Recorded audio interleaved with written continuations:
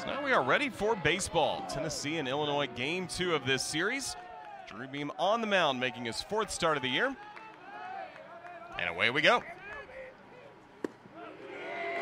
Starts off with a first pitch fastball for a strike, 94 miles per hour on the radar gun for Drew Beam to get going against Illinois.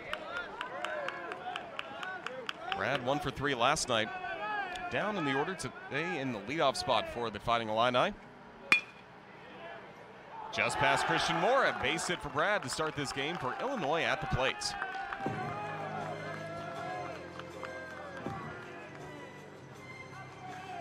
Yeah, starting off kind of a similar look that we saw yesterday from Illinois. They got up, they got runners on early. Let's see if they can produce the same way.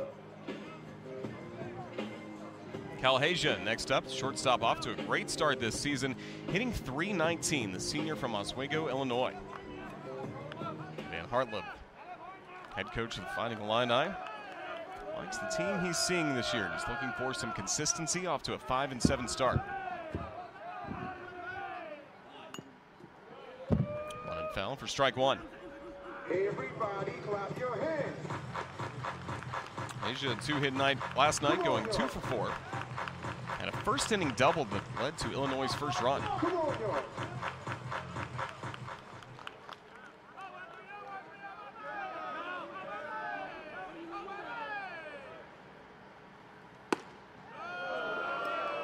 Fastball runs inside to even the count.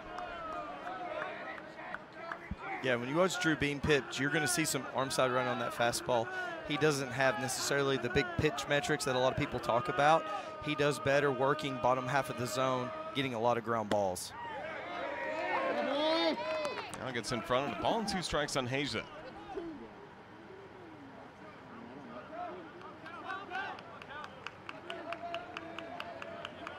Six innings, a season high nine strikeouts. Last time out against Bowling Green for Drew Beam. Checks the runner at first, Asher Brad.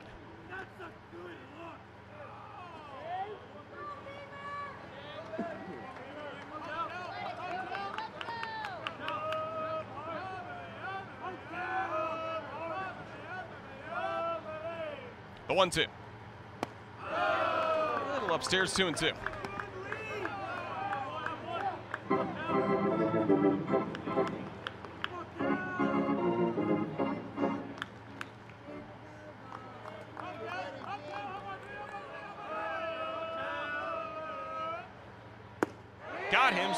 First strikeout for Drew Beam. That's our first. K for queso. Yeah, doubled up on changeups right here, 85, 85.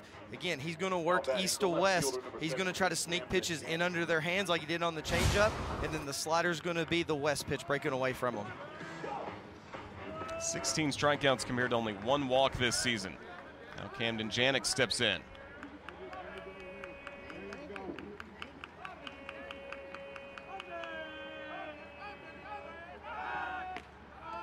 Back in standing up.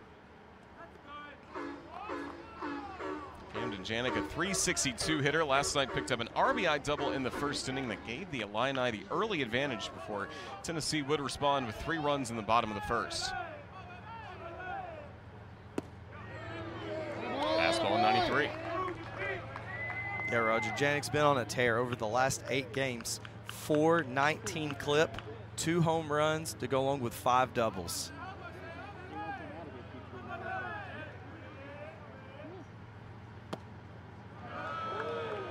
That's a little outside to the off speed, one and one.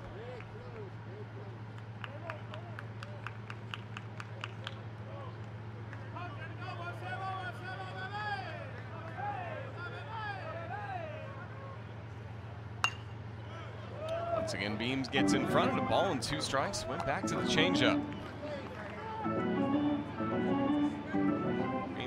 Such a great start to his collegiate career as a freshman in 2022, the SEC Freshman of the Year. Freshman All-America selection. He's always had that good four-pitch mix, which just as we talked with Tony Vitello, continues to get more comfortable, especially in his role as a leader on this team. I mean, he's a really good athlete. Things has been highlighted before. Obviously, played quarterback for his high school. Came into Tennessee with a relatively fresh arm. Had a couple of injuries and got pinned into that Sunday spot. And man, he has shined from there.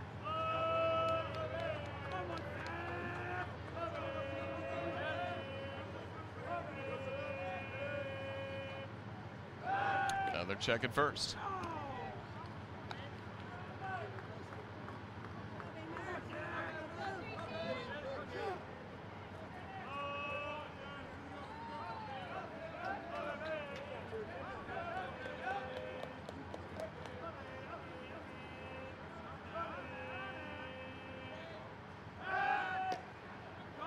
Brad only one stolen base this year. The Illini not too aggressive on the base pass, three for six in terms of stolen bases this season. But Drew Beam has always been known as a guy who can hold runners well. Yeah, yeah, really good athlete. I mean, that's kind of been the rap on Tennessee the last couple of years. Good athletes, but they're a little slower to the plate. There's opportunities to steal some bases, and I think Brad's going to look for an opportunity to do so.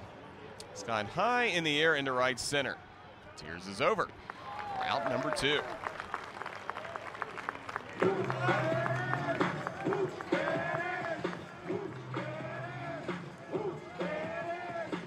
batting the third baseman, number three, Colton Quagliano. Quick conversation for Janik with Quagliano. You always love those scouting reports from your friends right after they face somebody like Drew Beam. Yeah, Janik's a true leader, and you could see yesterday. I mean, very disciplined at the, the plate. He saw a lot of p- pitches. He, he doesn't panic with two strikes. Same thing. He's got a good feel for what's going on. I mean, he's going through the entire dugout right now. Colton Quagliano taking a first pitch strike.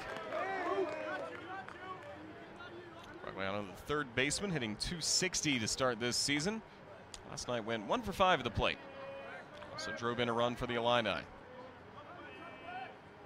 Runner goes. Swing and a miss for a strike. The throw goes to second and play at second for the out, but thought maybe there was going to be some batter's interference there as well. Yeah, he was going to get called for interference regardless. What you're going to see on this play, this is what happens when the when the turf gets slick. You have to slide earlier. If not, it's going to pull you past the bag. These six home runs. Just 15 games, 136 runs batted in as a team, a team batting average of 324. Challenge today with tabling, and now Christian Moore will be the first to the plate for the Big Orange, two for four in last night's win.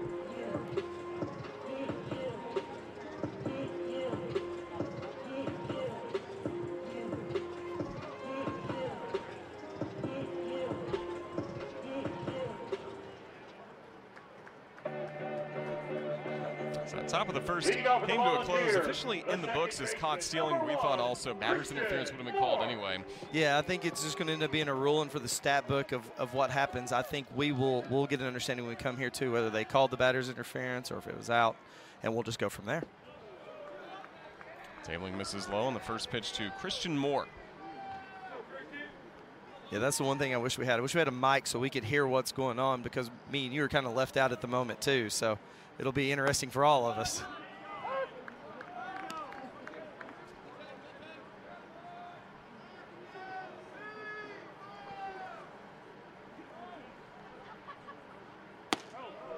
Ball misses high. Moore in front. Two balls and a strike against Tabling. It's Moore's double that really kick-started Tennessee with three runs in the bottom of the first yesterday. Strokes this high into center. Backing up on it is Asher Brad. And he puts it away for the first down in the bottom of the first. Now batting the first baseman, number 25, Blake Burke. Good to see the rain has gone away from Lindsey Nelson Stadium after it rained the hardest really at the plate meeting for both coaches with the umpires. Fans were able to take some cover, but it's lightened up. Able to play baseball on time here on Rocky Top. Blake Burke takes a fastball at 92 miles per hour for strike one. RBI double for Burke last night, part of a one for three performance against the Fighting Illini.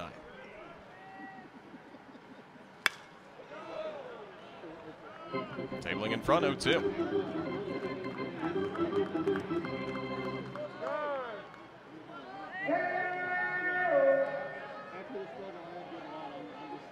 Four homers already this season for Blake Burke.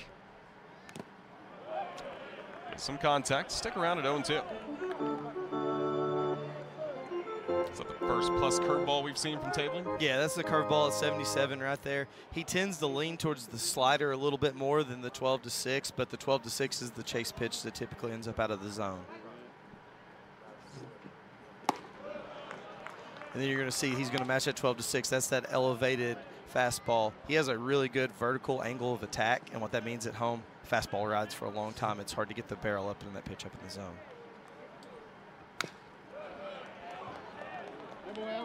Burke fouling off another curveball. Speed around at a one ball, two strike count.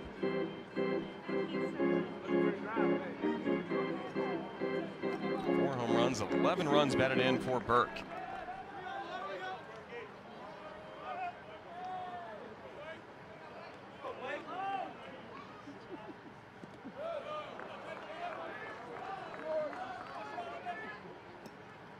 That was the changeup at 88. That's been the one thing you're going to see on tabling right now. Really good stuff. He's been a little erratic on, on finding some pitches in the zone. Tennessee's going to have to be patient off of him. Fair ball down the left field line. Burke hustling to second. Another first inning double for Blake Burke.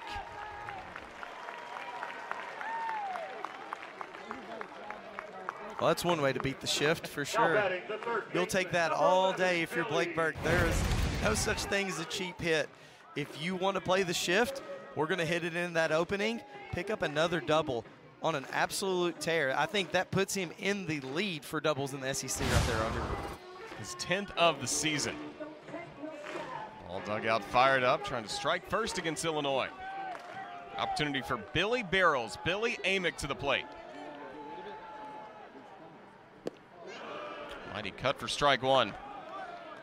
Home run last night for Billy Amick, so he's now tied with Drew Burress of Georgia Tech for the NCAA lead in home runs.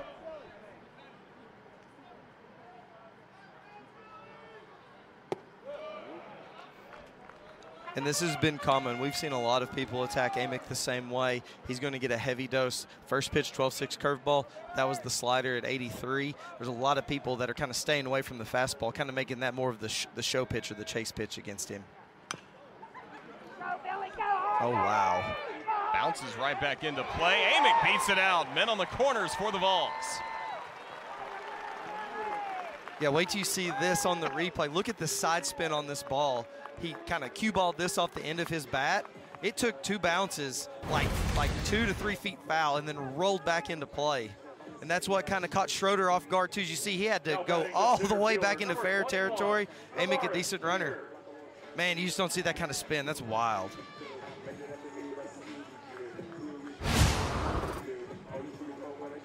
Schroeder did the best he could, but Amick beats it out for the infield single now. Men on the corners for Tennessee. Good opportunity in the bottom of the first. Kavares Tears takes strike one.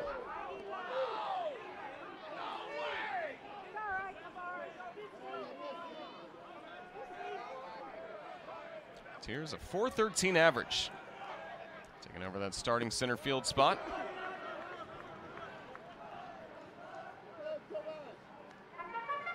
Four homers along with 12 runs batted in.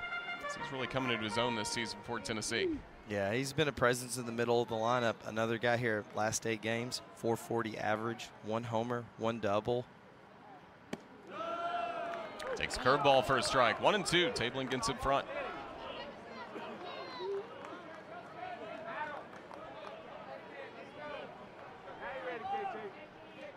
Tabling with 18 strikeouts compared to seven walks this year. Could use a strikeout here.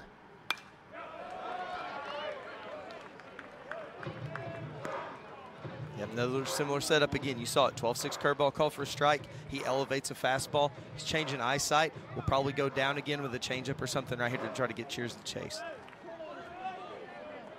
And on the corners with one out for Tennessee. Another one fouled away just as Amick was taking off for second.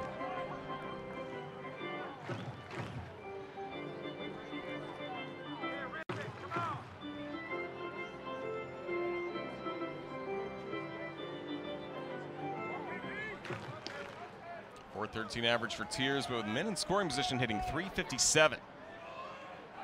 Another check at first. Nope. Yeah, it's a good situation to move right now. Same thing, like you're trying to limit the double play, trying to get a guy in scoring position. Maybe he cause a bad throw. You know, run's going to be tough with tabling. I mean, he's got swing and miss stuff, so you may have to produce a little differently than you have in other games. Bounced in the turf, two and two. Good job by Schroeder keeping everybody where they are. Burke at third, Amick at first.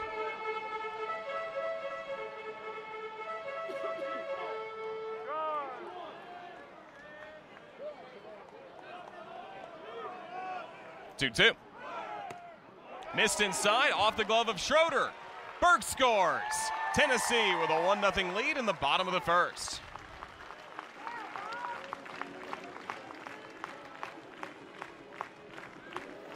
And there it is. Tennessee put a little bit of pressure on him, right? Tabling throws a slider that's up and in. Schroeder's in a throwing motion.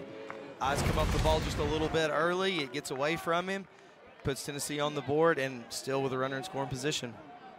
Wild pitch on tabling, three and two on Tears. Knocks it foul.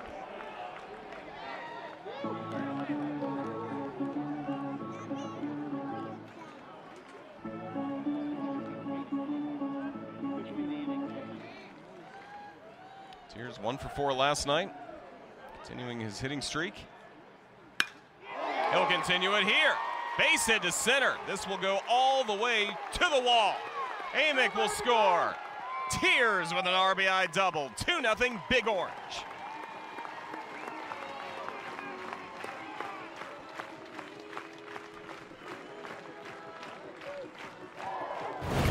Good at bat by Tears. He didn't like a couple of pitches early on. This is where the growth and maturities happen. Shook him off, had a really good at bat, got something he could handle, got himself on second base. This is what you want to see. There's a guy like Tabling. You want to get to him early, kind of what you saw with Crowder. He's going to get better as the game gets going. Take take advantage early on as he's missing up in the zone a little bit. Still some work to do for tabling with Tears at second. One gone, and the first pitch is crushed by Dreiling deep down the right field line, but well fouled.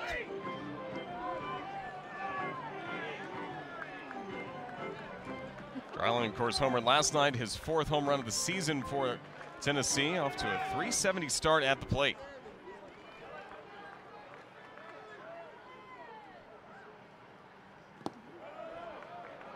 Count even to a ball and a strike.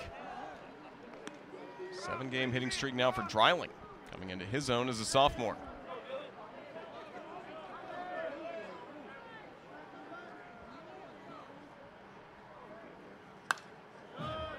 Tabling in front, one and two.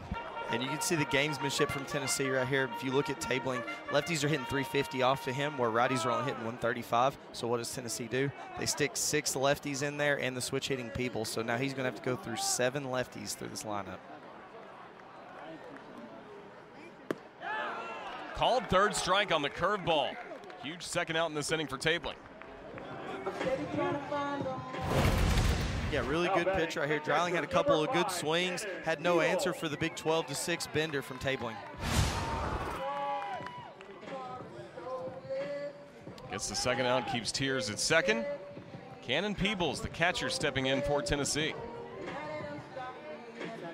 Last night it was Cal Stark who caught, homered in the first inning. Starts him with a curveball for strike one. Yeah, and that's the advantage of putting the lefties in. You can see tabling. The curveball's really good, the slider's good. You neutralize that by putting the lefty up. Probably doesn't have quite the same feel on the change as he does the other off-speed pitches. Peebles in front, now nothing in two, and a chance for tabling to limit the damage to a run on to two runs on three hits in this inning.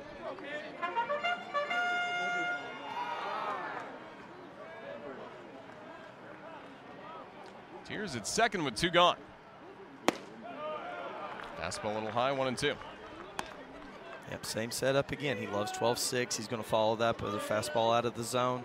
It's wide open now.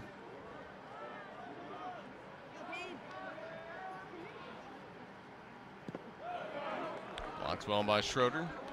Tears staying at second.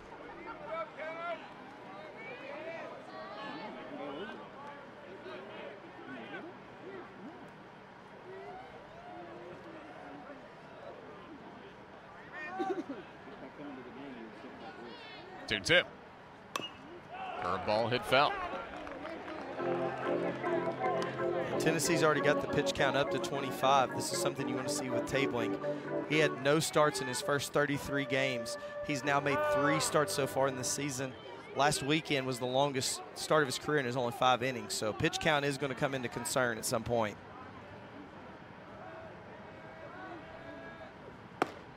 Full count. Through 80 pitches in those five innings against Western Michigan. Did rack up the strikeouts with seven, but also had three walks.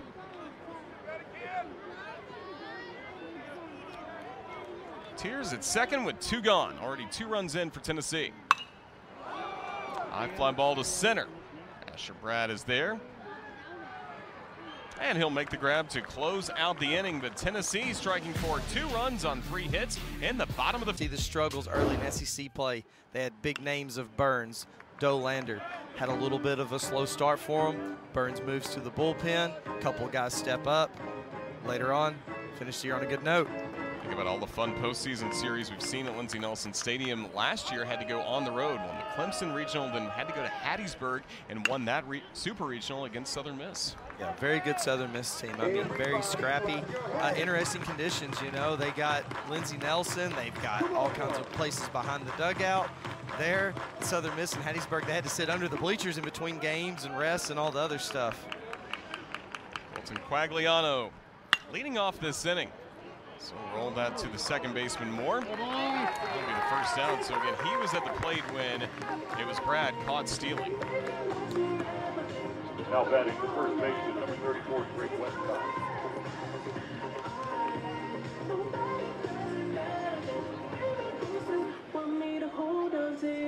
One gone. Now Drake Westcott coming up to the plate. Big Ten Player of the Week. Off to a tremendous start. See his statistics in Big Ten play. Big Ten rankings. Second in home runs already with four on the year. So he had a three homer week last week to help earn him that Big Ten Player of the Week nod. Yeah, last year Illinois hit 89 home runs. That's the second most they've hit as a team since 1998. They returned 72% of their power production. Here's the man that played a big part of it 18 home runs last year. Westcott was one for five last night against Tennessee. Strokes this into center for a base hit. Second hit for Illinois after Asher Brad also singled back in the first.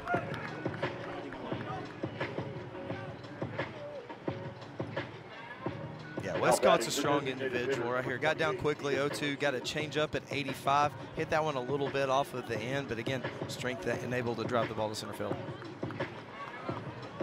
Vytas Valincius coming to the plate. Designated hitter once again for Illinois, was one for four in last night's game. Beam from the stretch. Deep in the hole to short and just past Curley. Back-to-back singles for the Illini. Now Westcott at second and Valincius at first with his single. And again, this is what's fun about baseball, right? You see tabling that's more up and down in the zone. Beam's going to be more east and west. Good pitch. Vytas, quick hands, able to shoot it through the hole. Looking for a big inning.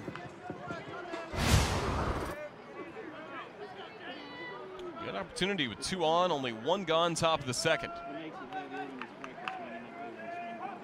Jacob Schroeder, the catcher, steps in.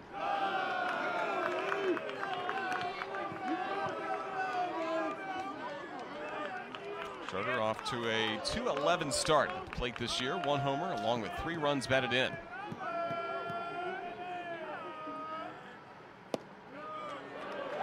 Beam back in the strike zone to even the count. Yeah, Schroeder's been off to a little bit of a slow start right now. Last year, tons of power. Guy hit 284, 14 jacks. Second most on the team. Beam right back in the strike zone with that fastball at 94.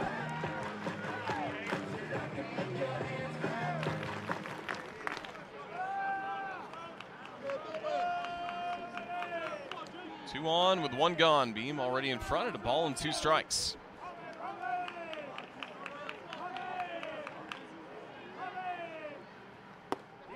Fastball at 93. Second strikeout for Drew Queso. Yeah, looked like he caught Schroeder guessing right here. You see the two seam at 93, a pitch that started out off the plate, moved back in. I mean, it's tough. Like again, he's he got a lot of action on his fastball.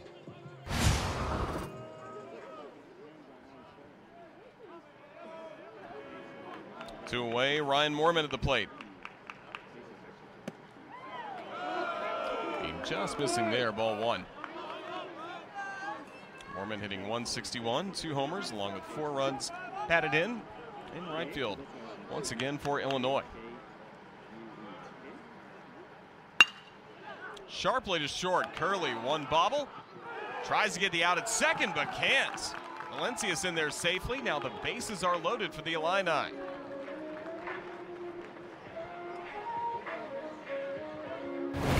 Saw Curley make an error last night on something similar as well. Sharp ground ball. He's there. He's just letting the ball get a little bit too deep, Roger.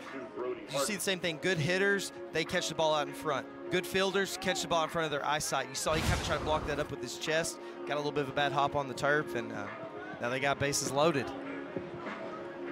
Fielder's choice E6, the scoring fourth error by Curley this season. Now a jam to work out up for Beam. Bases loaded with two gone. Ninth hitter in the order due up, Brody Harding. Full windup for Beam. Slings in a slider for strike one.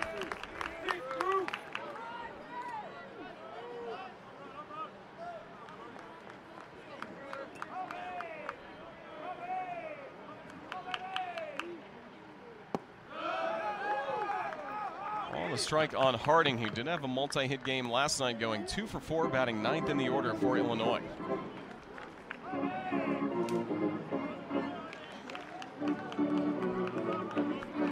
Yeah, big situation here for Illinois. We saw struggles with runners in scoring position last night. Currently 0-2. Harding could get them moving. Ran a little inside. Two balls and a strike.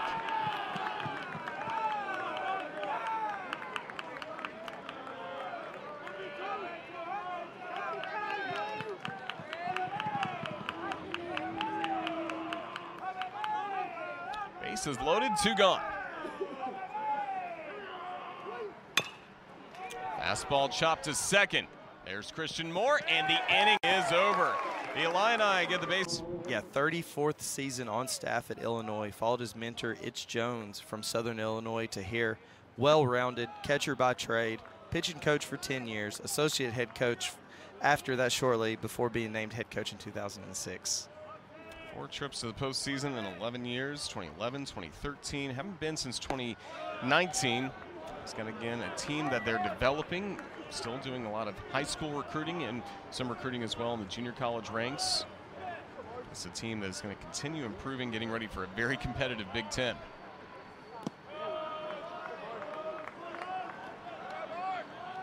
Tamlin falling behind 3 0. Gave up two runs on three hits in the last inning.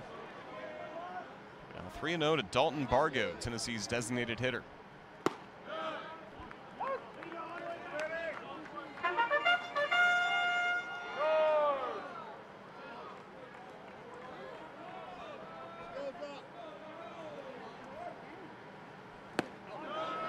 Three and two.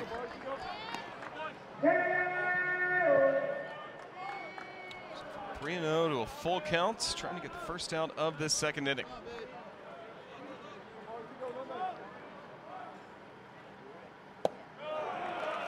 Swing on a fastball low, and it's a leadoff walk to begin Tennessee's second.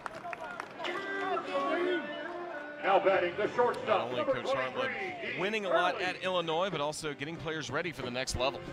Yeah, the development's really taken off since he's been here. You can see the stats on the board. 1960 to 89, 31 draft picks.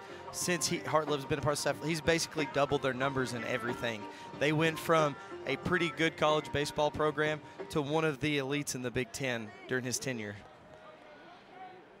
Tyler Jay Of course, some of the great work. Cody Sedlock comes to mind. Ben Spillane. Just tremendous winners at Illinois. Dean Curley for Tennessee, the shortstop. Nope. Bargo, one stolen bag on the year. Tennessee, 8 for 12 on the base pass this season.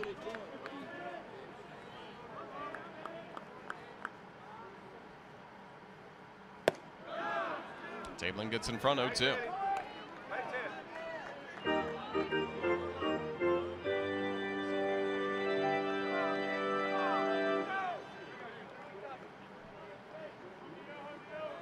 It's 40th pitch of the start coming up. It's outside for a ball.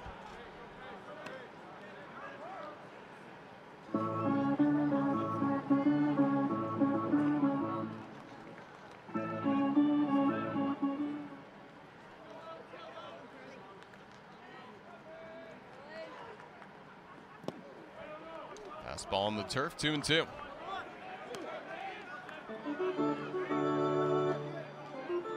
This is common to see with tabling too. He has a rather high pitches per plate appearance. On average, each hitter usually sees 4.04 pitches per at bat. Breaking ball for a called third strike. Second strikeout for tabling. You know, fielder. that'd be something I like to see him adjust as he gets going here, Roger. His stuff is really good. Maybe start attacking a lot more. I mean, it's hard to pull the trigger on that curveball right there. You see he froze Curley up with it. Like to see him go get these hitters a little bit more instead of nibbling.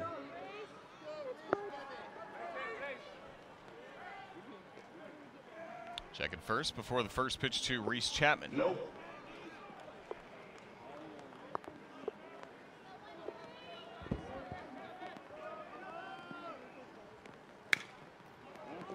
Bounces that one just fell. Chapman in the mix for some playing time in the outfield. Right fielder in this ball game, off to a one for 11 start at the plate this season, but trying to get some more at bats before Tennessee starts conference play next week at Alabama. Yeah, Chapman has elite power. He really hasn't got it going quite the way that the coaching staff thought he would here at Tennessee. But like I said, the power plays, they're going to give him opportunities to get in there because, like you said, you never know what's going to happen. Once you get into conference play, everything's wide open.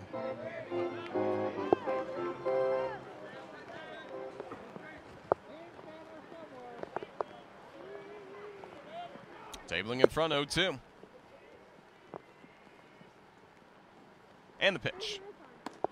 Breaking ball outside.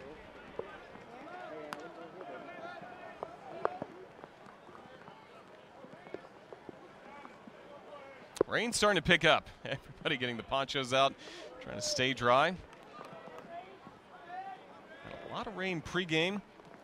Both teams able to take batting practice, though. That turf field, again, you are able to play through conditions like this. Only dirt that's on the field, the mount. Yeah, Tabling's got a little bit of a, a spike cleaner back there. You see him. He's, he's putting it to good use today.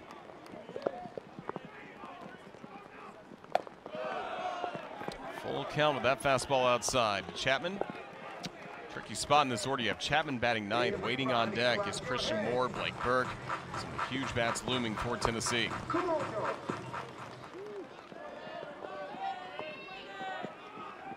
Argo at first, one out. Swung on and hit high down the right field line. Certainly out of play as and that's the spot to be under the overhang of the coach's offices just down that right field line. Yeah, you know, I think the the range shifts to Tennessee's advantage a little bit. You know, Drew Beam's a strike thrower; he's going to be around the plate regardless. The ball starts to get a little bit more slick, where Tabling's a little bit more erratic. Ball four, two aboard for Tennessee.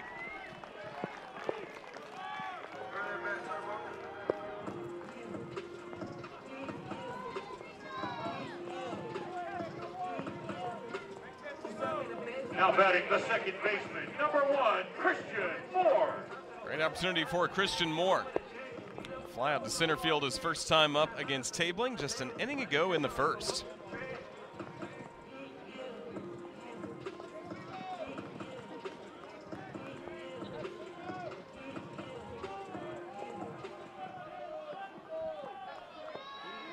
Two on with just one out. Pitch slider for a strike.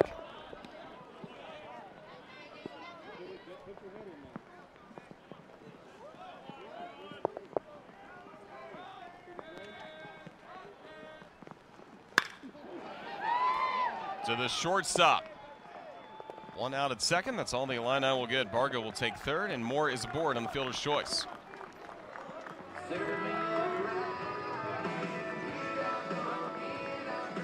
Now batting the first baseman, number 25, Blake Burke.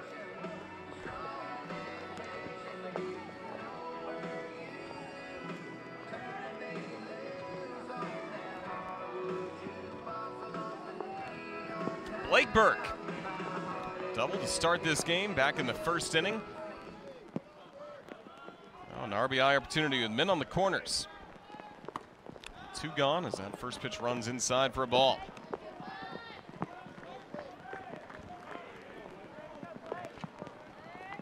This is the guy you want up with runners in scoring position. Burke currently leads the team with a 545 average. In the air down the left field line. This will be tricky, and it falls in. Tennessee adds to the lead. Bargo scores. Burke sliding into second with another RBI double, and he's made it 3 0 Tennessee.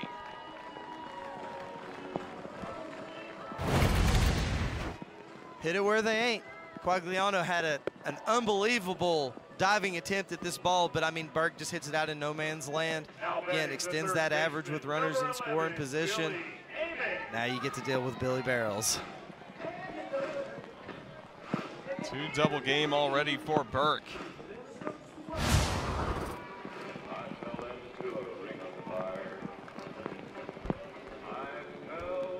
Rainy Saturday afternoon. Mark Allen, pitching coach, coming out for Illinois.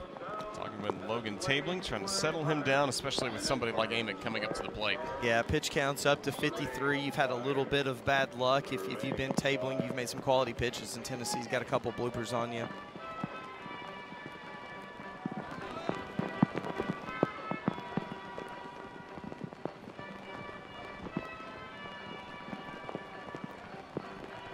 Two in scoring position for Tennessee, and it's Amick at the plate, who's been a 333 hitter with two outs, 350 hitter with men in scoring position this year.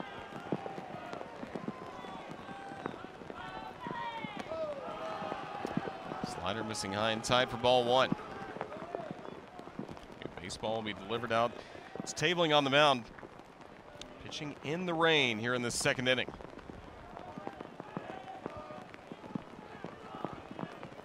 And tabling wants another new baseball.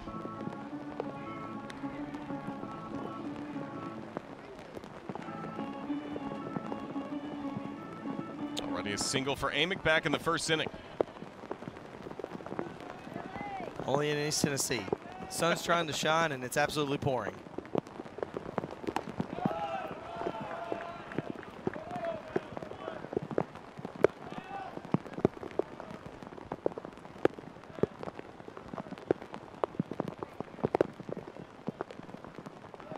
All the way behind Amick to the wall.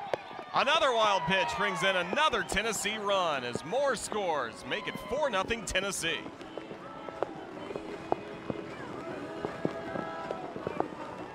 Yeah, again, if you're Tennessee, you don't mind the weather. Again, Tabling has a little bit of trouble with command. This slip, I mean, this ball just slips out of his hand. It's just how it goes. They're in search for a few more baseballs. This is going to be a little bit of an issue until this decides to calm down a little bit. Quite a slide for more. He's in, second time Tabling's had a wild pitch bringing a run here in these first two innings.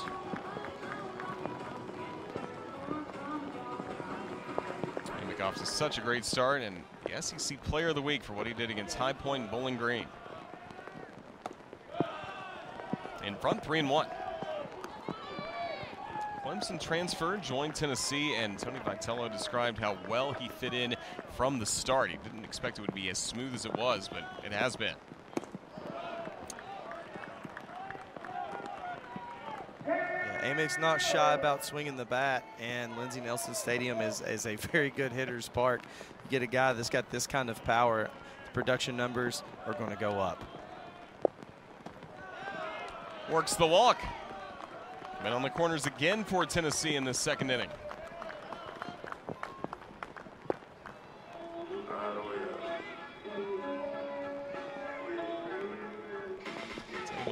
laboring here in these.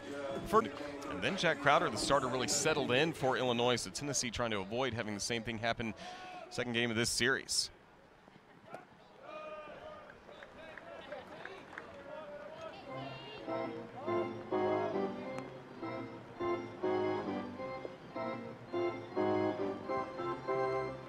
New baseball delivered directly to tabling on the mound. Yeah, home plate Danny umpire, he's moved the, the baseballs from out of his pocket because they're getting wet. Right, obviously it's board. He's just got that the little holder. So what they're going to do is they're going to maintain it in there to keep it as dry as possible. All the way to the backstop. Five nothing Tennessee. Burke scoring, standing up. Three wild pitches that brought in a run here in the first two innings. Yeah, I mean, it's a frustrating situation for Illinois staff. I mean, tabling, again, has incredible stuff. It's just really hard to control that. That's the unfortunate thing about having this high spin rate on everything. The ball really snaps out of his hands, and when it gets slick, you start to lose the feel for it. Amos at second with two gone. Bounces into home, two balls and a strike to Tears.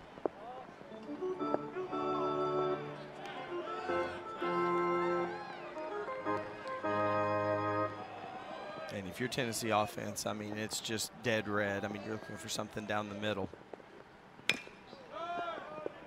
Just fouled by Tears to even the count on a fastball. Bullpen activity through the raindrops for Illinois.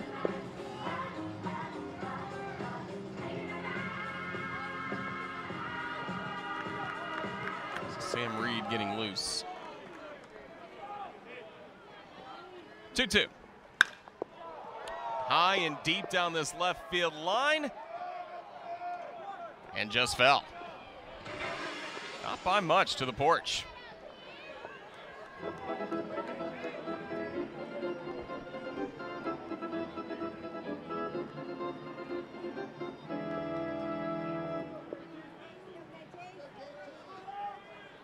Three run bottom of the second for the Vols. And is coming up for tabling. And Tennessee's done a really good job putting pressure on tabling. They're currently four for nine, 444. They have three walks, three of their four extra base hits, or three of their four hits have been for extra base hits, and they've been four for 20, or sorry, they're in 429 with runners in scoring position. Schroeder blocking that, keeping Amick at second base. Count full now to Tears, three and two.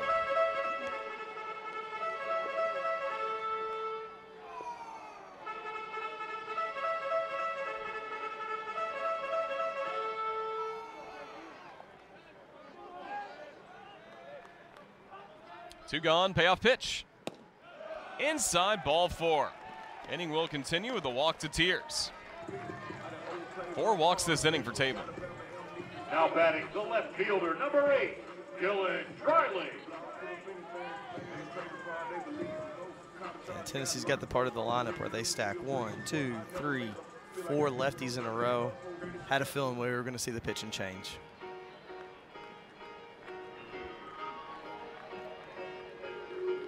Played to its full nine innings regardless of the score. First pitch outside, Dreiling for ball one. That'll change for Tennessee starting next weekend in SEC play when the 10-run run rule is in effect for each and every conference game. In non-conference play, both teams have to agree to it, and both teams really using this weekend to, again, see where they are before conference play starts. Another one gets away from Schroeder. Both runners will advance. Amick now at third, Tears at second.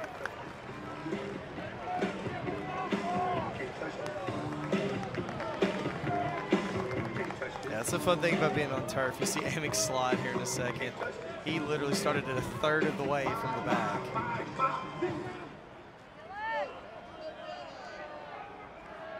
Two in scoring position for Dreiling. Now 3 0. A walk would load the bases. Peebles due up next. Yeah, got to be take all the way right here.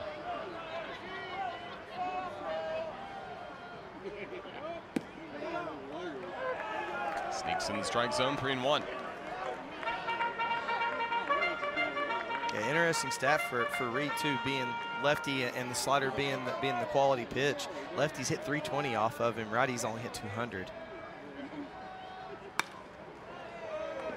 Line foul, now full count 3 and 2.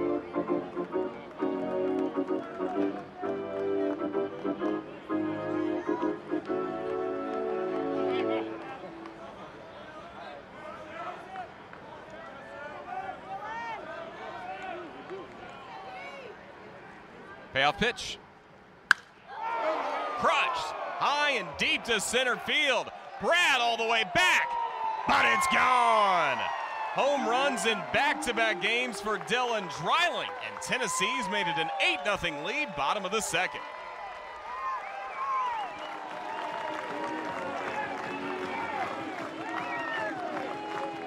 Roger, he's so explosive. And again, I, we touched base on this last night too. He covers all parts of the zone really well. As you can see, he's going to get a fastball up into the zone. And I mean, just absolutely electric hands from Dylan Dreiling. It's a straightaway center. Home run number five on the year for Dylan Dreiling.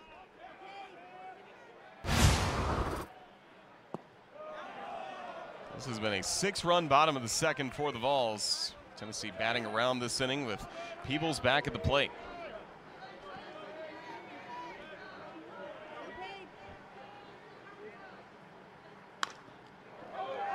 Slowly to the first baseman, bobbled by Westcott. Peebles is aboard.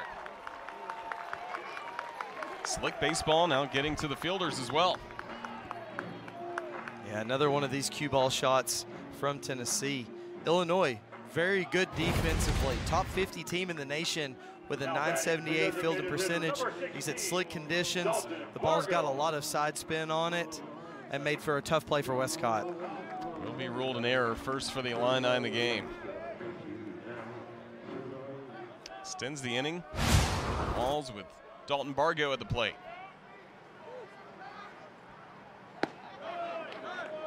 Yeah, just got metrics for the Dreiling home run.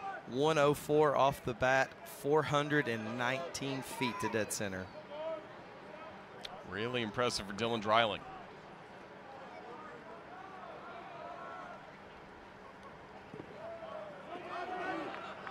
Schroeder blocks the plate. Sticking right at first base will be Peebles. Two gone in what's been a six-run bottom of the second.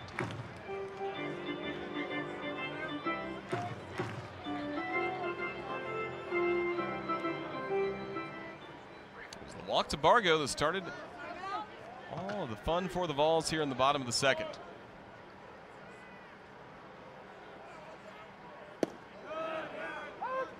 Now one and two. Yeah, Dreiling and Bargo very good off of lefties. Dreiling came in today hitting 429. Bargo hits 500 off lefties.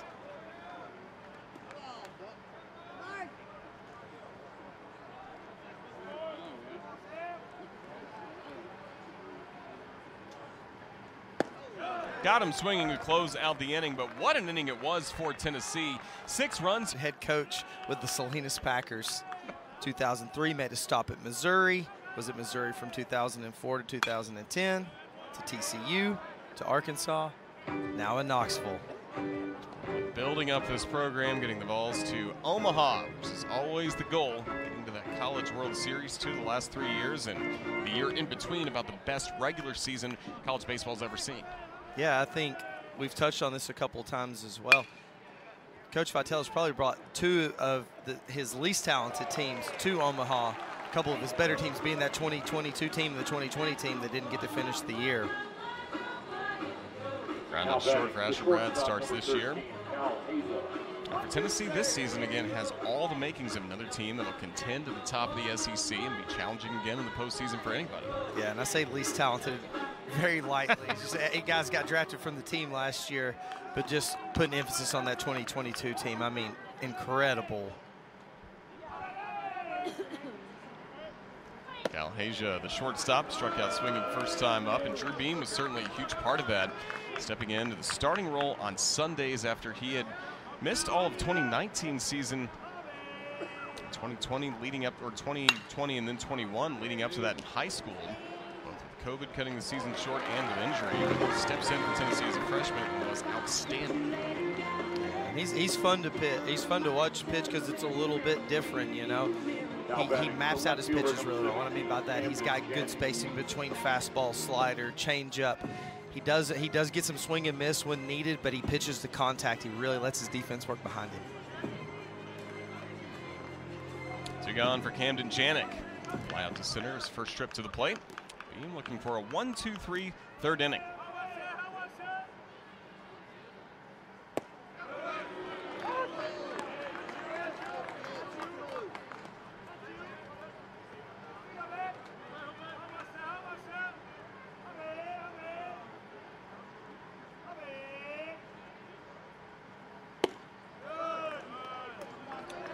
strike to Janik.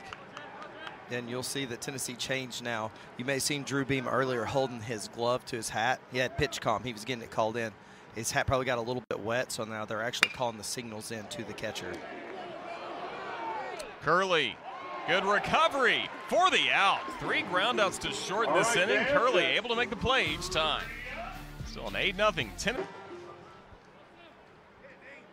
Sam Reed, the lefty on the mound for Illinois, was able to get out of that second inning. Again, they're just counting on him for some length right now and trying to save the rest of the bullpen as much as possible. Not only this game, but what's coming up tomorrow in game three. At the moment, Illinois has not announced a starter for game three yet, as Coach Hartleb just wanted to see how the first couple games go in Knoxville with tabling. And obviously, last night saw five innings from Jack Crowder. And a strikeout will start this third inning. Now batting the right field. Second at bat for Reese Chapman after working a walk last time up. Lefty on lefty rips this down the right field line for a ground rule double. Extra bases for Reese Chapman.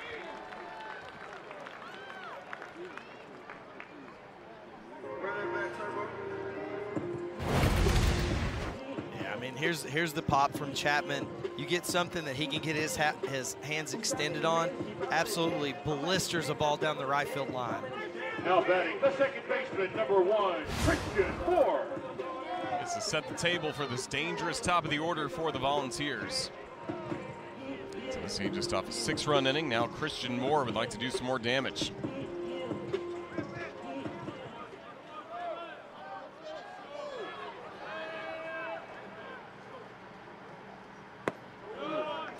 Cut, strike one for Moore. Talk all about the 2022 success for Tennessee. He was a young guy on that team, kind of finding his role, and it was such a tough lineup to crack every day with all the veterans. And now he's one of the veterans for this team. Yeah, I mean, it was two freshmen. It was it was Christian Moore and Blake Burke. He's here one two. They pretty much traded off on lefties and righties, and I mean, it kind of laid the cornerstone for where they're at today.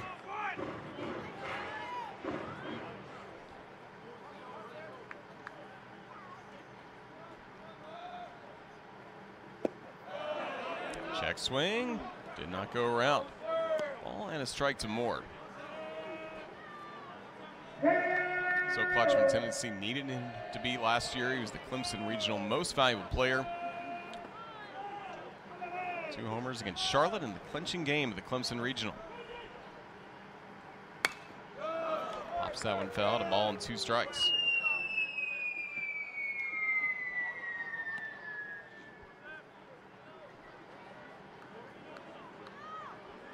Yeah, Christian's brother CJ was taken in the 13th round of the 2014 draft by the Arizona D-backs, and we're a few months away from hearing his name called very shortly. I could imagine. High and deep in the air to right field. Moore has homered.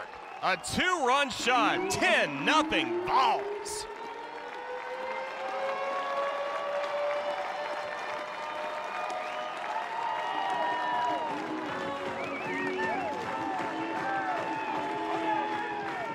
So dynamic at the top part of the lineup. He has power, speed. He's very patient at the plate. You can see it right here, home run number 32 in his career moves him eight away from tying the program record. Gets a fastball out over the plate. Just so strong. Orman did all he could out in right field trying to rob this just over the wall. Home run number five for Christian Moore.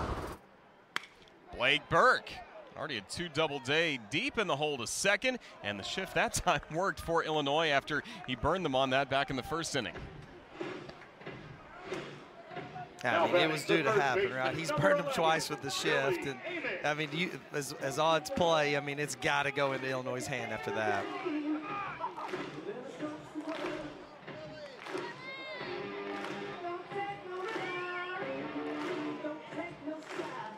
Squire with a stroke. The walk-up music for Billy Amick. Swing and a miss. It's strike one against Reed. He's given up a double and a home run in this inning. Now he's given up three of the 10 runs that the Vols have scored. Yeah, Moore's home run, 97 off the bat, 352 feet. So just barely crept over the wall.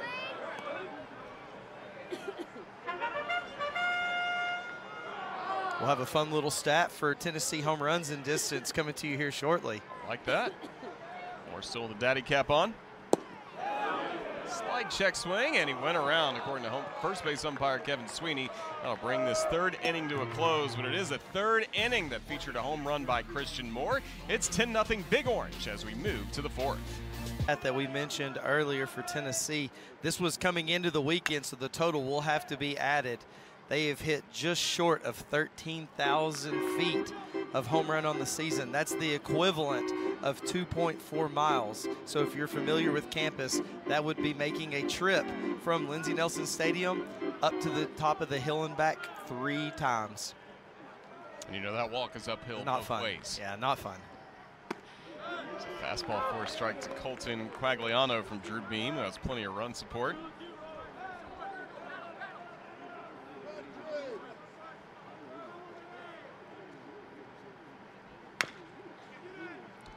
Chop just fell to third.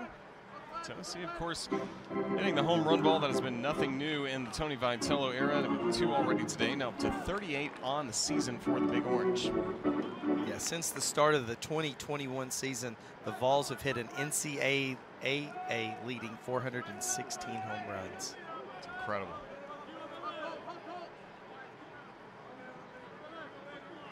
Beam in a good groove. No balls, two strikes against Quagliano. Strikes him out looking. 94 on the fastball by Drew Beam. Yeah, Beam's got some feel for that two seam. He's got a little Greg Maddux-esque feel right here. He's starting it off the plate, running it back across. I mean, there's just nothing you can do with that pitch if you're a hitter.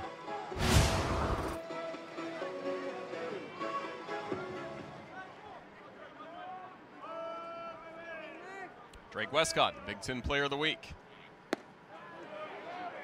First pitch strike from Beam. Westcott was able to get aboard with a single last time up. Already two hits this weekend against the Vols. Beam keeps pumping in fastballs.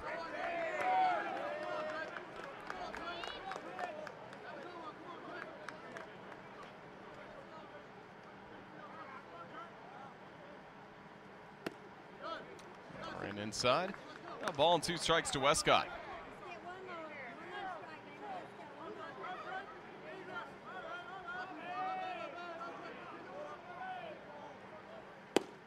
Fastball at 95. Four strikeouts for Drew Beam. Yeah, and that's what you want to do. You saw the slider that moved Westcott's feet. When you got a guy that's got that kind of pop, you want to, you want to get him a little bit uncomfortable. You made him move. You shifted his eyes, tacked him with there's that two seam, that sinker-like feel at 95. Feel your pain, Westcott. I've I've been in that situation before too, my man. You just go up there and you have it at bat and feel like you get nothing to hit. It's Valincius. It's ball one. Single for him his last time up as Illinois stranded the bases loaded, did not score in the second. At that point, it was only 2 0 Tennessee. Then the Vols added on six runs in the bottom of the second and two more in the third.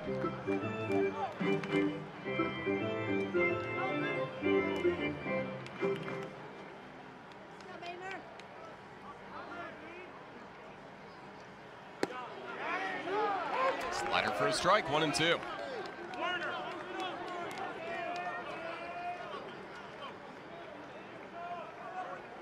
Base is empty, two gone. Slide check swing, no swing though, according to Kevin Sweeney, the first base umpire. Two and two.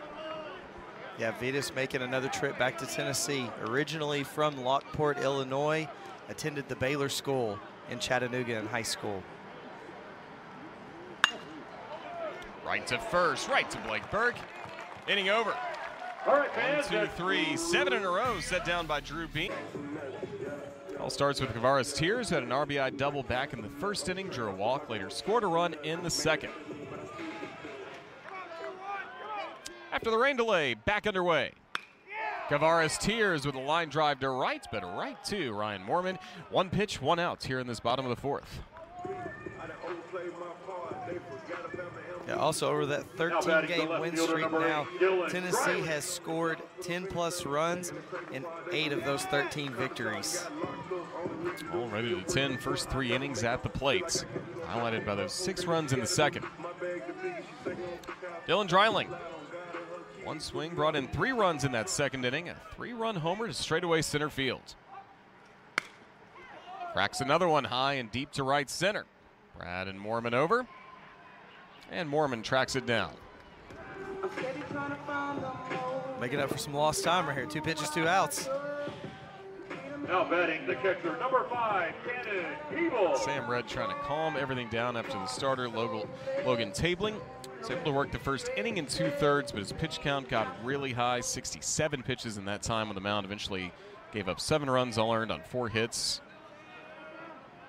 Had to pitch through the worst of the rain. Cannon Peebles takes strike one. 0 for 2 did reach on an error by the first baseman Westcott last time up. Starting catcher for the Vols in this game. Holds it right past Koji Lander.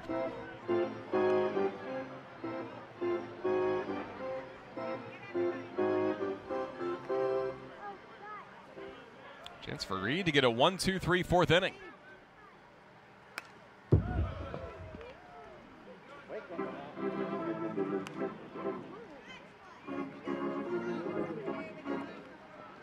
He's already started one game this year. Was a starter last year at Eastern Michigan before he transferred to Illinois.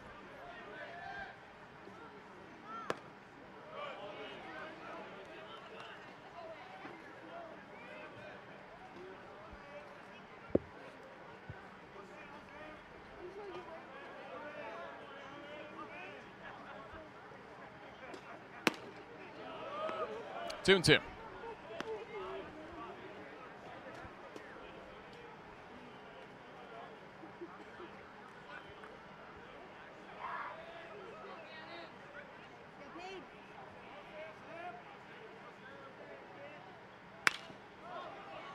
Lifted to left field. Janik camping under it. And that'll bring this inning to a close. The Vols set down in order for the first time in this ball game. First inning, Tennessee has not scored today against three outs away from doing so. As he again had to wait out the rain delay. He'd set down seven in a row. Prior to this game being interrupted. Now make it eight in a row. One pitch retires Jacob Schroeder to start the fifth. Yeah, nobody's being bashful out of the gate right now. Amick making that play. Now Ryan Mormon will come up.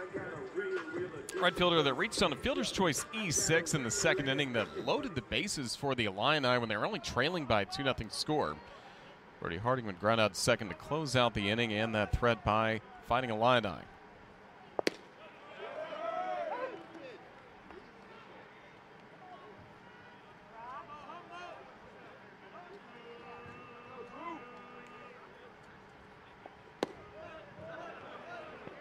Yeah, good to see after he sits so long. Velo's still there. He's still fastball hovering around 93, 96.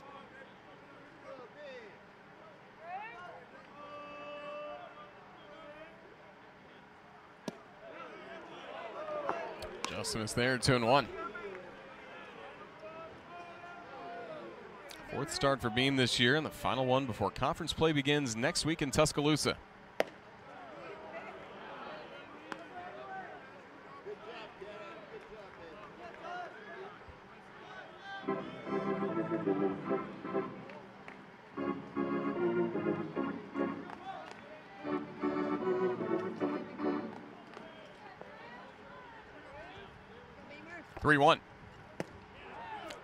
Just outside ball four, and that'll be the first walk of the day by Beam.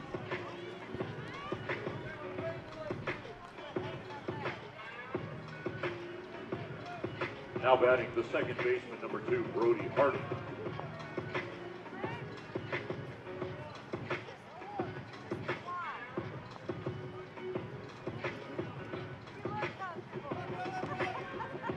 Brody Harding. Ground out to second that ended that Illinois threat back in the second inning. Ninth hitter in the order for the Fighting Illini. Calling off a fastball at 92 miles per hour from Beam.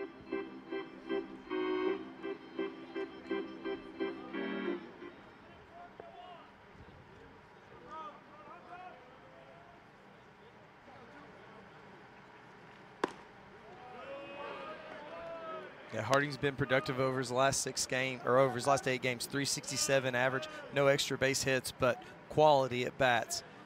Really battles up and gets on base for his guys.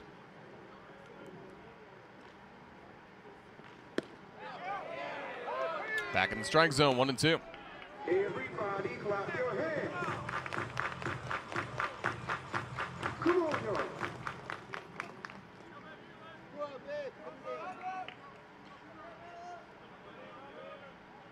Mormon at first with one out. Beam stayed away, two and two on Harding.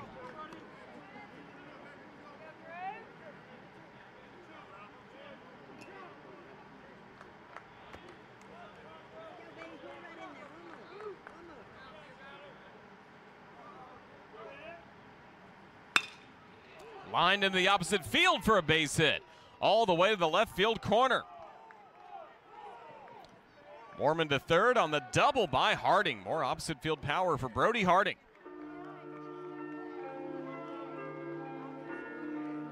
Yeah, we've seen a lot of it from him this weekend. He's very patient at the plate. He waits on getting a ball up in the zone, drives this ball down the left field line for his first extra base hit in a little bit.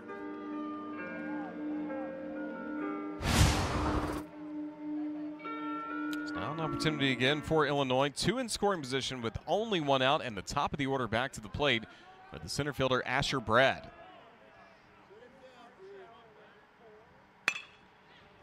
Ground ball to short. Curley will make the throw as a run crosses the plate. Mormon scores on the ground out by Brad to get Illinois on the board at 10 to 1. And you see that a lot from, from the left side of the infield from Tennessee. You play on turf, the ball's a little slick. You saw Curley use a basically a bounce pass over to first base from there, just a little easier than trying to unload with a slick baseball from out in the hole.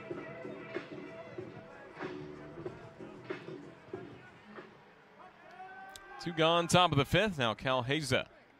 Shortstop to the plate. Beam starts him with a strike. 0 for 2 for Haza uh, so far at the plate. A strikeout and a ground out short.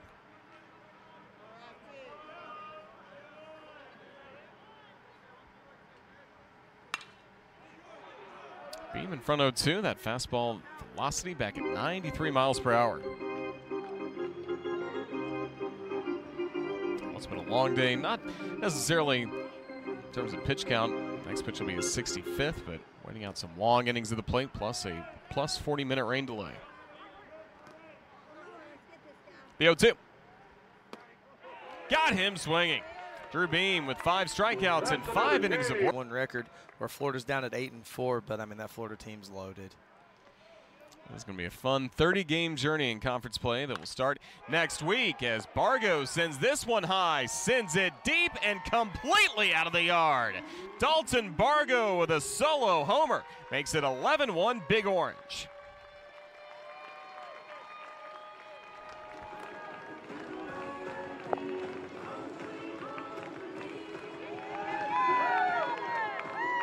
Bargo stays on a tear against left-handed pitching again. Came in today entering with a 500 average against lefties. Get something out over the plate that he can get extended on. One thing that we've seen from him, he creates a ton of backspin. When he gets a ball that he can elevate, it really carries.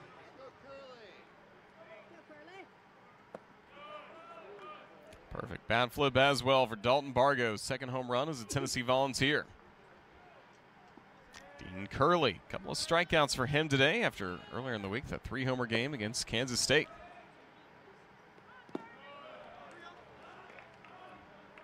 Tennessee bashing out three home runs already in this ball game, Dreiling a three-run shot in the second, two-run shot by Moore in the third, and now a solo homer by Bargo to begin the bottom of the fifth. Base hit all the way to the wall in left field for Dean Curley. He's got a double. Look at that one real quick. Yeah, almost every one of his base hits have all been extra base hits. It's incredible. Six homers. Now that's his second double of the year. Curley in a good groove as Reese Chapman's at the plate. Speaking of doubles, he doubled last time up on a sharp line drive to right field.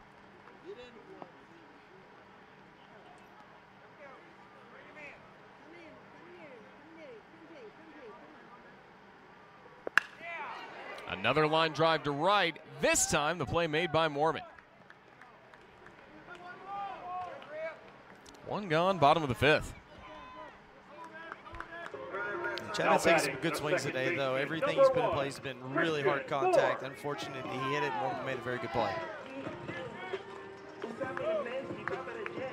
Top of the order back to the plate with Christian Moore. Smacked a two-run homer his last time up over the right field wall. Simo Hitmo. I want him to hit it out to the porch in left field.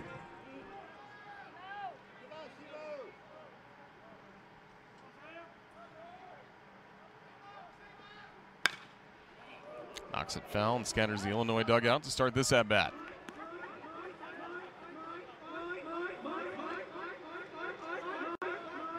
Home run number 32 for Christian Moore in a Tennessee uniform. His fifth of the year.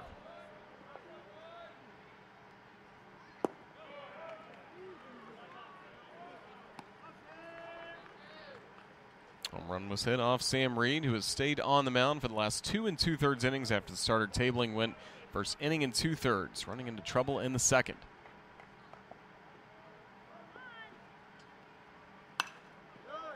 One and two.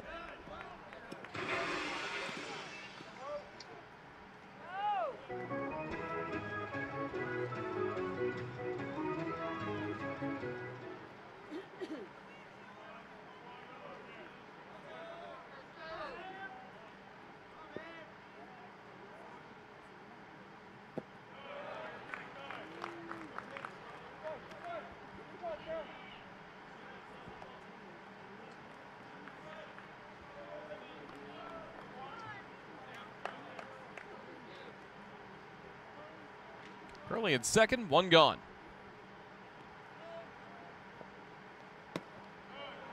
Now full count. To be extra careful with Moore at the plate.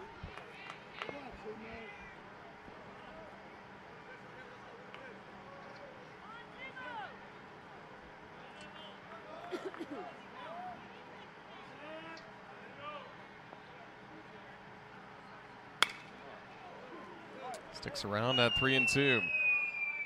In the third inning, the fifth homer that payoff pitch. High ball four, two aboard for Tennessee.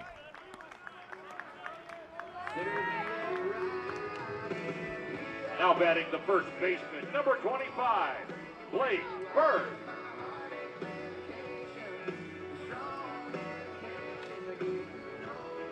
Sam Reed may have seen his time on the mound come to an end. Mark Allen, the pitching coach, come out. He also does some other visits, made trying to be careful with Blake Burke coming up here. And what'll be the second time that Burke has faced Reed. It was Burke who grounded out into the shift in shallow right. Two on with one gone.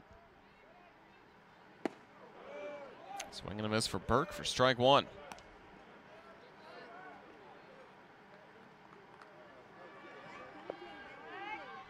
Starting his game with two doubles, both against the shift into left field, so two for three game already. 15 straight games he's reached base for the Vols. Crushes it! Go ahead and tell your friends about another Burke bomb!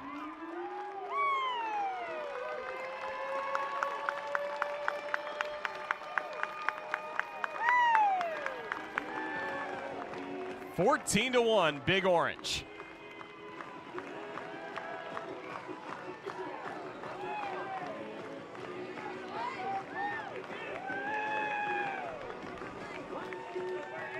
Impressive. When he hits them, he doesn't get cheated. I mean, he gets a slider up over the plate and hits this ball into the fourth row of the parking lot. Another home run moves him five away from tying Tennessee's all-time record of 40. Two homers this inning for Tennessee. That one was destroyed. Yeah, that says it all. I mean, when you look at somebody that just has raw power, he's got to be at the top of the list of any MLB draft ranking. And then more lefty batters do up after that. Tears and Dreiling. It all starts with Amick. Single back in the first, a walk and a strikeout on the day. And you know he wants to join in on the home run party. He would love to. Hutchins is a guy, too, gets a lot of balls elevated off of him. 60% of pitches or, balls put in play are in the air.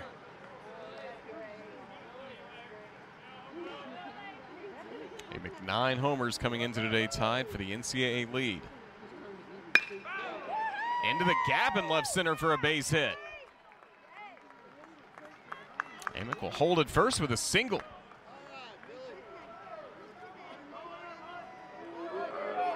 Multi-hit game, Billy Amick. Now batting, the center fielder, numbers from last year. He hit 413 at Clemson. It's really impressive because he, he's not up there to walk. Like there, there's very little take in his game, and typically you don't see that high of an average for somebody. But man, him he just he barrels up everything. Another man aboard for Kavares Tears at an RBI double back in the first.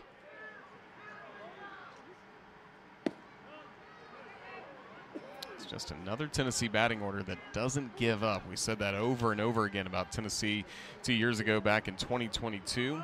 This year, very similar conversation. And deep, really, beyond the nine that factor into the mix. Tennessee's got a much deeper bench, it feels like, this year than it did two years ago or last year.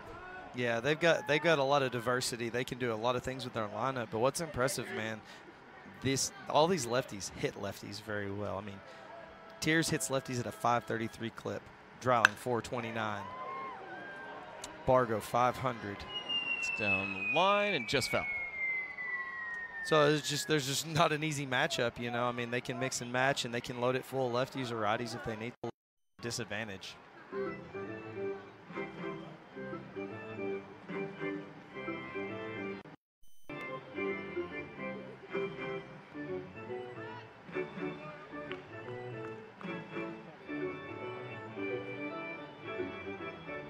Hutchings oh a 2.70 ERA last year as a redshirt sophomore. Had only two relief outings, both in Big Ten play against Michigan and Northwestern. Schroeder keeps it around the plate.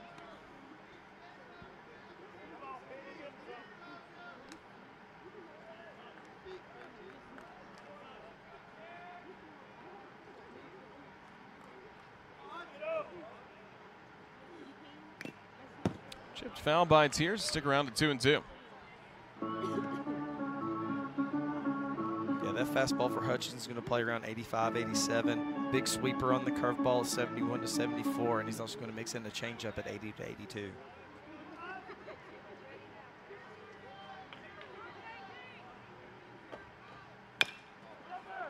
Bouncing ball to first. Out at second. And Tears aboard on the fielder's choice. Two gone in this bottom of the fifth.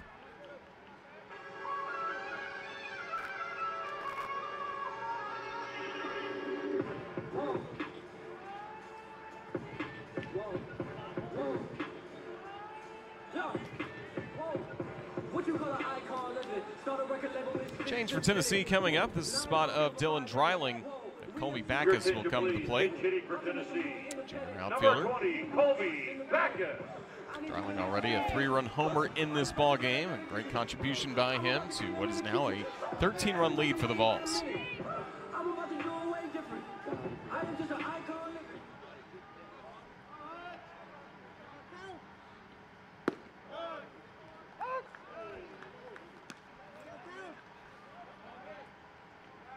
Backus three for seven at the plate to start this season. Native of Johnson City, Tennessee, went to Daniel Boone High School before making his way to Walters State and transferring to the University of Tennessee. Yeah, Coach Vitello on the call earlier this week said that Backus is going to get his opportunities. He's looked really good in practice, really developed from the fall till now. A guy that has an unbelievable amount of power. Knocks that one foul. A ball and two strikes now to Backus.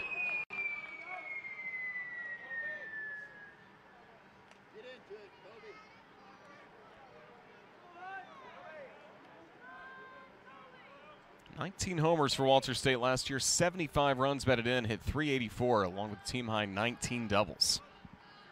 JUCO All American. Two and two. Tears at first with two gone.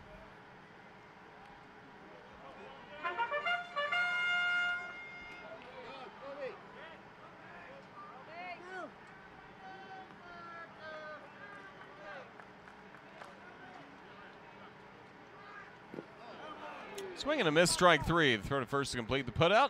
And that'll close out the inning, but the Volunteers had some fun in this frame thanks to a solo homer by Bargo, then a three-run Burke bomb by Blake. Leading off for the Fighting Illini, the left fielder number 17, Camden Janik. Janik leading off the sixth inning.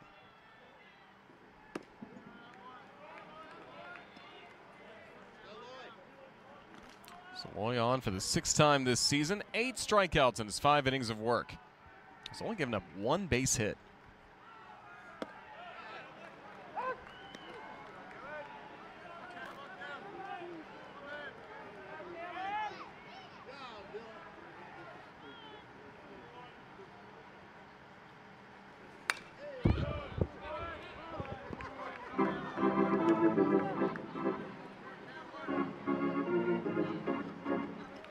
To center and a ground out to short for Janik already today.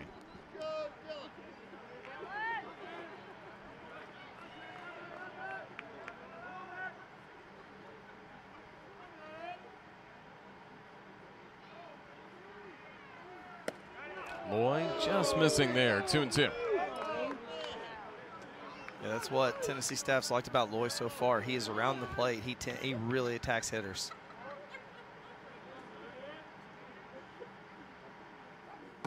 Right back on the attack. A strikeout of Janik starts the time in the mound That's for Dylan another Loy. K for Queso. Yeah, same thing right here. Sets him up with a curveball away that just misses, elevates a fastball to get Janik to chase out of the zone.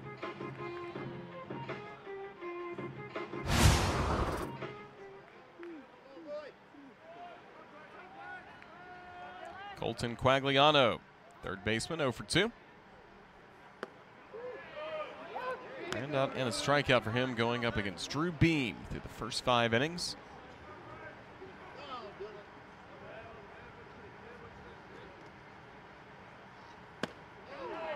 Swing and a miss on the fastball at 88.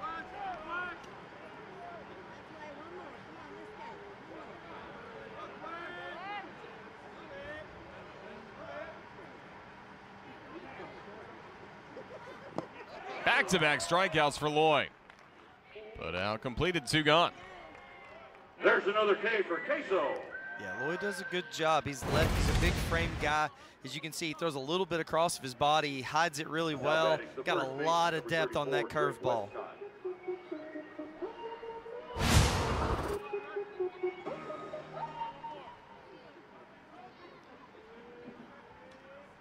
Two gone, Drake Westcott. Big Ten Player of the Week, one for two in this ball game against Tennessee. After going one for five in last night's opener of the series. Pops it up.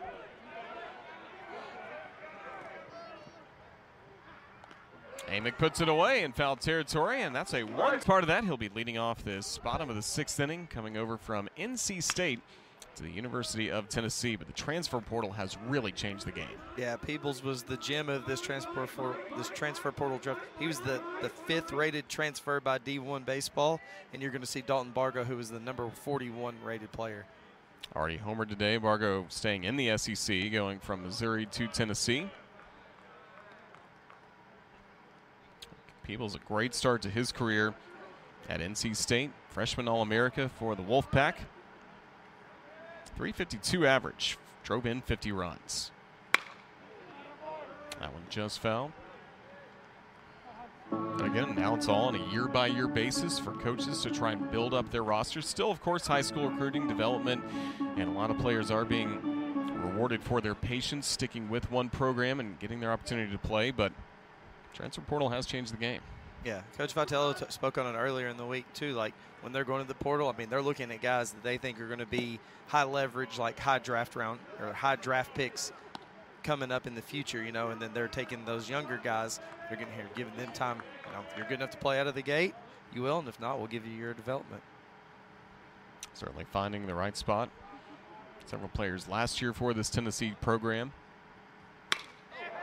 Peebles with a base hit to center.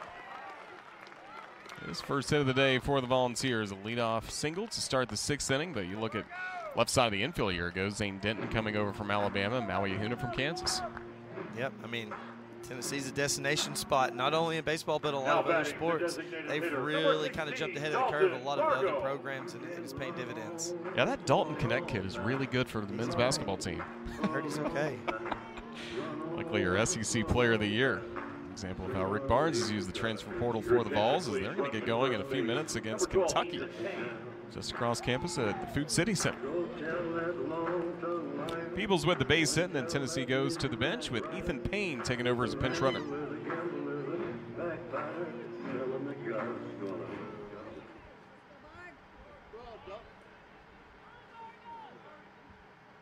Here's Bargo. Crushed a home run last time up. Crushes that one fell. Start this at bat. Second home run in a Tennessee uniform. Time at Missouri. He was primary DH as a freshman for the Tigers. Hit 279. Five homers, 23 RBI.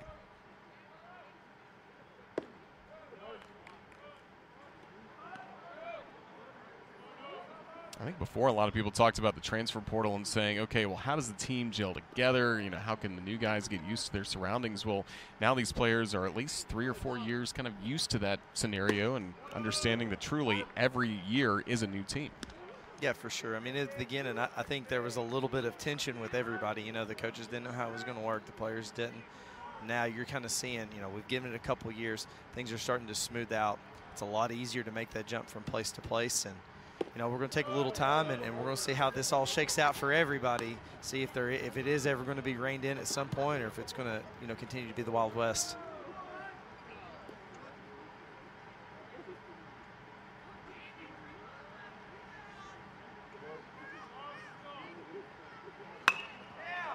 Down the left field line. Just fell. Bargo will stick around at two balls and two strikes.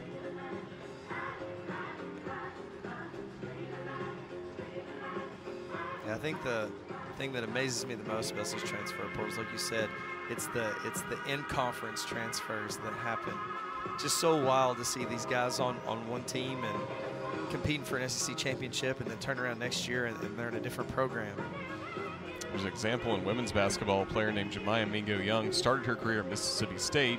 A couple years there, a couple years at Alabama, closing out her time now at Auburn. So three schools in the SEC West. It's an example of how things have changed. I bet she's a fan favorite. Huh.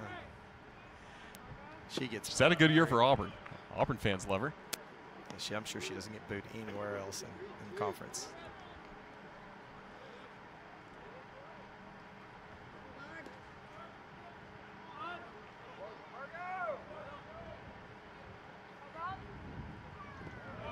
This one skips away from Schroeder. Was ball four, so Payne will take second on the walk to Bargo.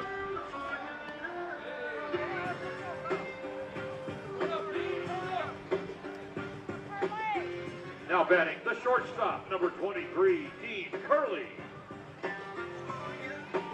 Freshman Dean Curley.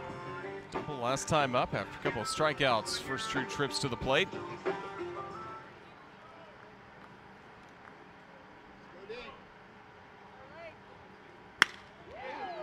Smokes that base hit in the left field. Base is now loaded for Tennessee. Multi-hit game, Dean Curley. It's not like Tennessee needed a lot of help coming into the season anyway with what with the depth that they have one through nine. Reese Chapman. With the bases loaded, takes outside. Talked before about a little bit of a slow start to the season for Chapman. Just one for 11 and some limited playing time coming into today, but he's already Drawn a walk, hit a double in this ball game. The end of the bat down the left field line. Janik chasing after that foul ball. One of the new additions to Lindsey Nelson Stadium and that bullpen under the seats. Lindsey Nelson Stadium continues to go through a lot of renovations that will certainly continue into the offseason. It's going to be a lot of fun. I mean, this is the beginning phases. You can see the, the tarp area up there. That's going to eventually turn into a party deck, very similar to what they have at football. Uh, tons of added new seating. We've had a ton of people coming out to the game. They've set attendance records almost every weekend that they've played. Certainly been impressive. Fans know they got to buy season tickets if they want to be around for postseason baseball. I think every Tennessee fan learned that back in 2021. It's made for a fun, festive atmosphere even really early in the season before conference play begins.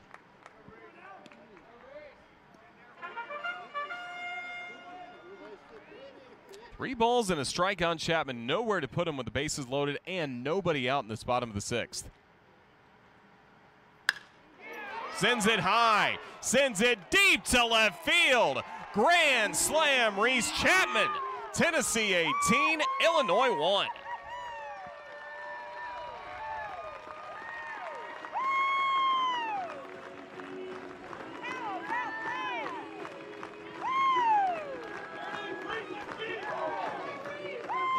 Gut feeling that Chapman was going to come unglued on this 3-1 pitch. He gets something out over the plate, and this is the power that we were talking about.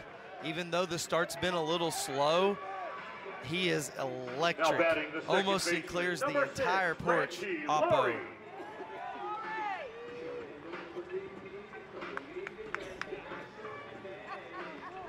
Grand slam home run. First homer this year for Chapman. His third as a member of the Vols after having two last year.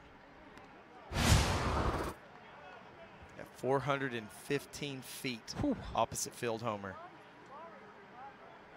Power on full display for the Volunteers today. Blake Laurie will pop this up to the second baseman Harding, and that'll be the first out here in the sixth inning. Already four runs have scored.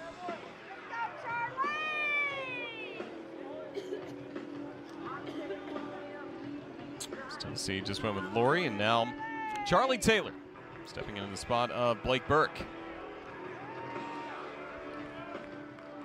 And if just joining us, run rule not in effect for today's game. So this game will be played the full nine innings regardless of the score. Number 14, Charlie Taylor. But Tennessee and Illinois continue getting some work in, and Charlie Taylor skies this one high to medium deep left field. Shortstop backpedaling, Hazel there for the catch.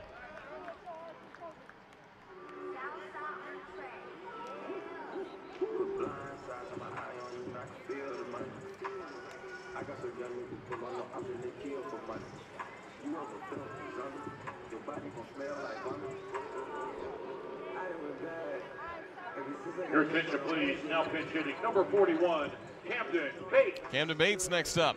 Off the bench for Tennessee in the spot of Billy Amick.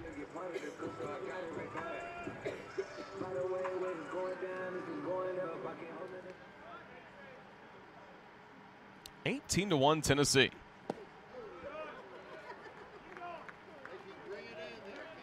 Yeah, we're going to have an opportunity to see a lot of new faces here for Tennessee as they're starting to make way through that dugout.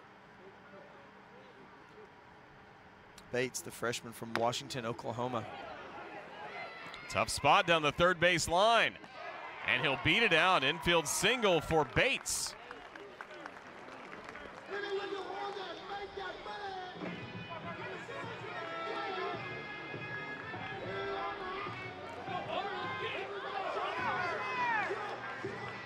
Batting the center fielder, number nine, Hunter Ensley. Hunter Ensley took over in center field for Kavares Tears in the top of the sixth inning. That was first at bat coming up here. After he played in last night's game, played in center field and went 0 for 3.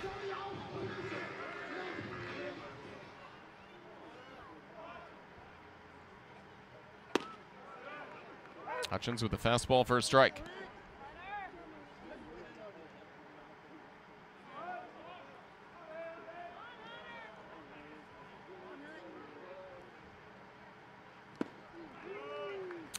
front. No balls and two strikes to Ensley.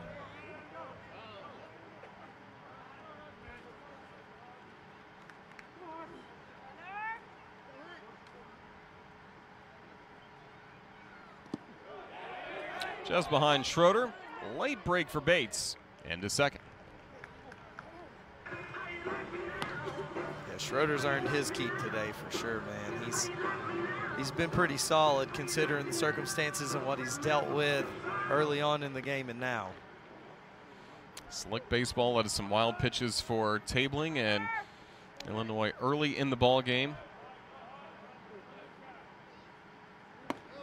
And a strikeout for Hutchings will close out this bottom of the sixth. The sixth inning that featured grand slam home run by Reese Chapman as we move to the seventh.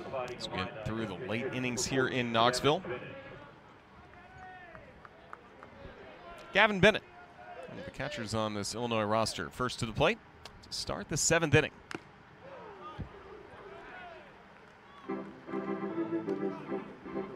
Bennett one for eight so far at the plate a couple of appearances and has made a couple of starts. This is the spot of Valincius, the DH.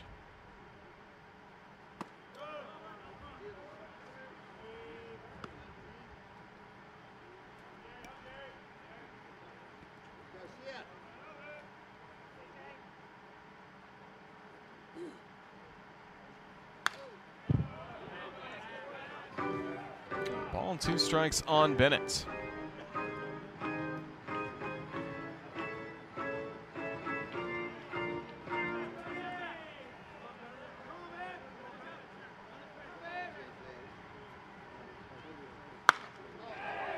Center field for a base hit.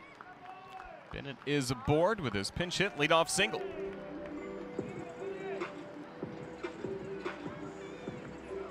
Now batting, the catcher number eight, Jacob Schroeder.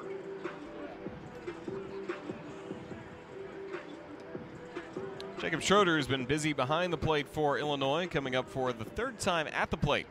Fighting Illini 0 for 2 so far in this ball game.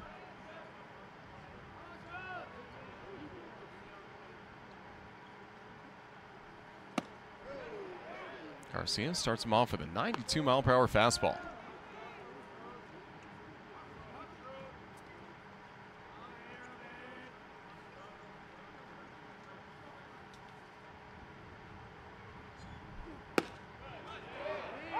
Back in the zone again at 92.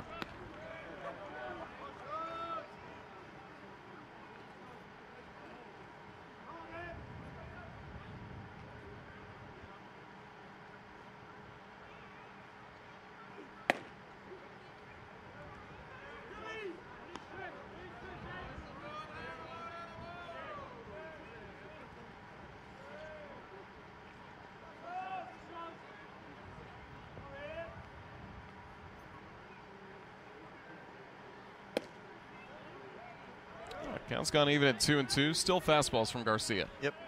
Totally different look for Tennessee in the field, too. Backus in left, Ensley in center, Chapman in right. Curley moves over to third, Bates at short, Laurie at second, Payne at first, and now Charlie Taylor behind the dish. That one Smacked foul third base side. Changes all over for Tennessee, but again, testing the depth really important for Tony Vitello and Tennessee is still some important midweek games coming up, of course, as we've talked about before. Conference play starts next weekend against Alabama. And a strikeout for Garcia against Schroeder. That's another K for Queso. But you never know who on that bench is going to be tested, not just in the next few weeks, but even later in the season. Really good pitch here from Garcia. He's been fastball 92 away. That was the slider at 85 that catches the outside part of the plate. Your attention, please. Pinch hitting for the Fighting Illini. Number seven, Christian Smith.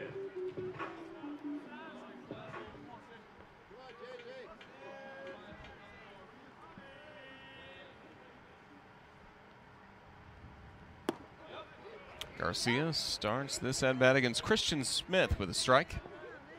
Smith in the spot of Ryan Mormon, who had been the starting right fielder in this game and gone on base twice. Smith one for four at the plate this year. Garcia gets in front 0 2.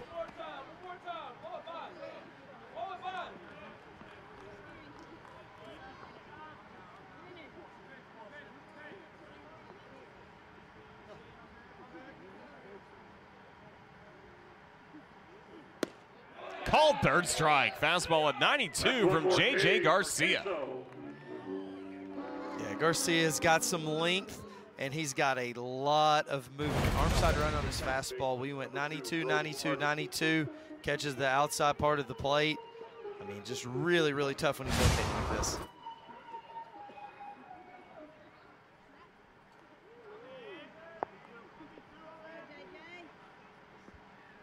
Brody Harding, the second baseman. Another first pitch strike, another fastball for Garcia.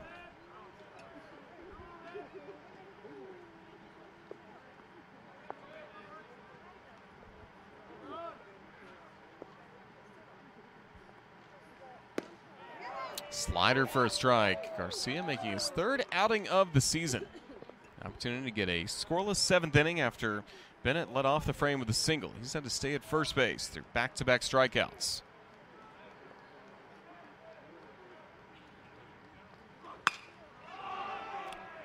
Shallow left field.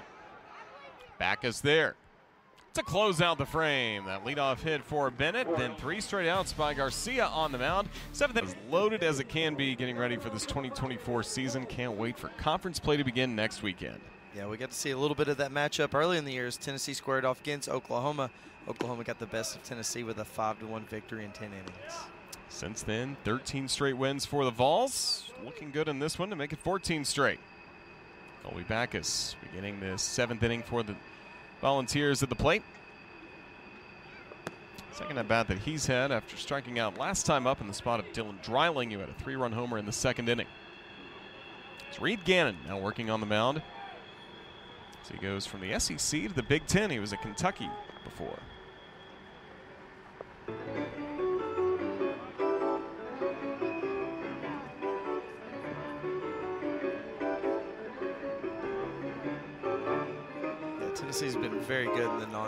So far. Tennessee has not lost a regular season non-conference weekend series since 2020 against Wright State and they've swept 13 of the 15 regular season non-conference opponents they faced during that time. That Wright State team was pretty good. You know, a year later, got to come here to Knoxville and nearly beat Tennessee in Game One of that Knoxville Regional before Drew Gilbert had other ideas. Yeah, that one of the we talked about that off air during the rain delay. Maybe one of the most electric games that's ever been played here at Lindsey Nelson Stadium. Backus hit by the pitch. He's aboard to start the seventh inning.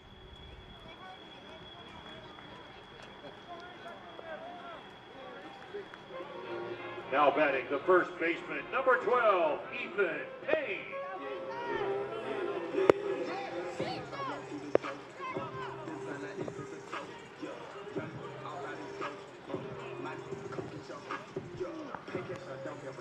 Ethan Payne stepping in, took over as a pinch runner for Cannon Peebles.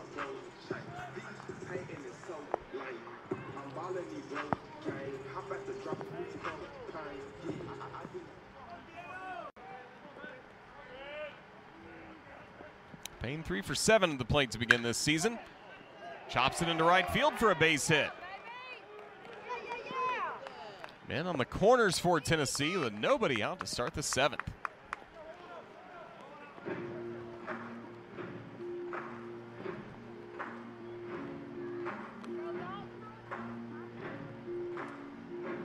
Now batting the designated hitter, number 16, Dalton Bargo.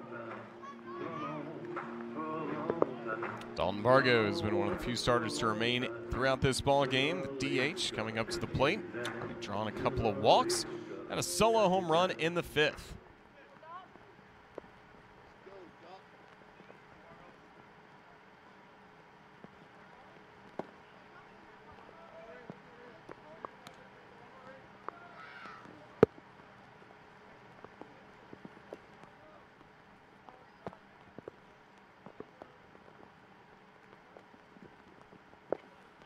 This ball skips away from Schroeder.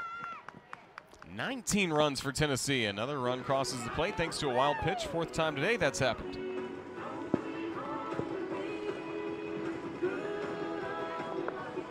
Yeah, I see a nice bath in uh, Schroeder's future.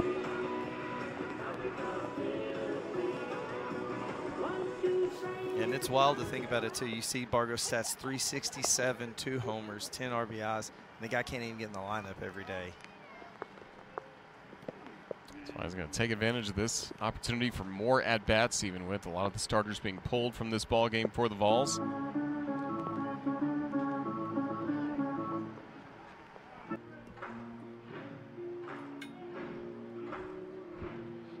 So a few changes for Illinois in this bottom of the seventh, still Bargo at the plate. And a strike for Gannon working with Janik.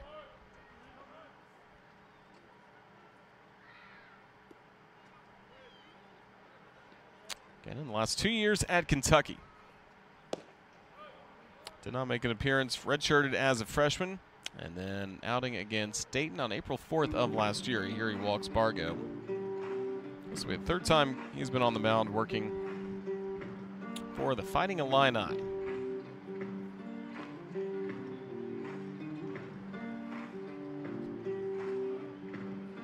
Your attention, please. Pinch hitting for Tennessee, number 40, Hunter High.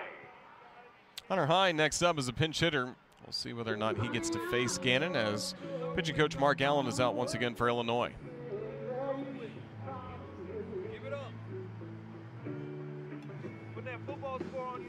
Serving as the pinch hitter in the spot of Dean Curley.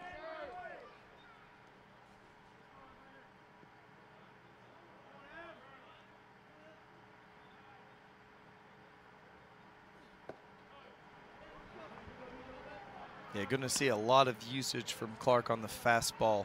90% of pitches thrown so far have been the heater. Give him the heater, Ricky.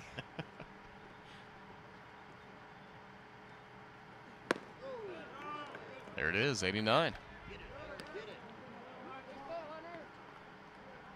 Where do you got Major League at? Is that is that the your favorite baseball movie? Bull Durham's number one for me. Same. Especially with all the years I was in the minors. Um, it's most realistic movie.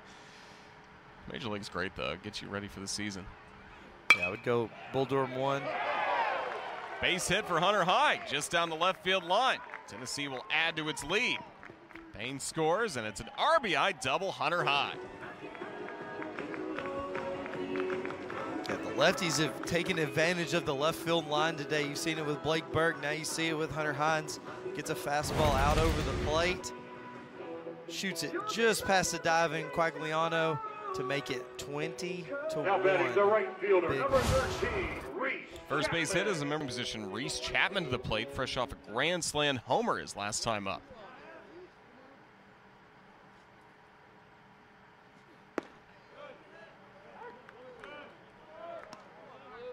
Rookie of the year too. Little Big League, like that Yep. little stretch, outstanding. Yep. Baseball movies. Great movies. Early '90s. Sandlot. Yeah. Wow.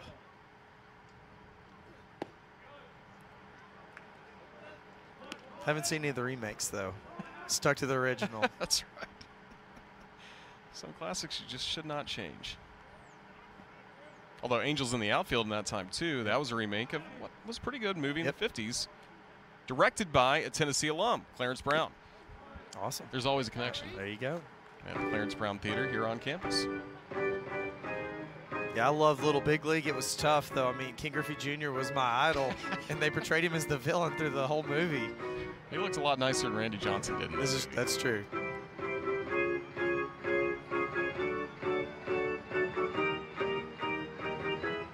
And now Janik catches a foul tip, and home plate umpire's giving him a little bit of a break. That's Danny Crick.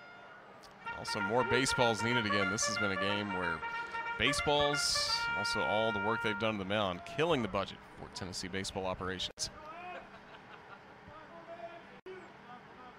Tennessee wearing out the scoreboard though, up 20 to 1. Two in scoring position, no one out here. And that will hit Chapman. Base is now loaded, but hopefully Chapman will be all right.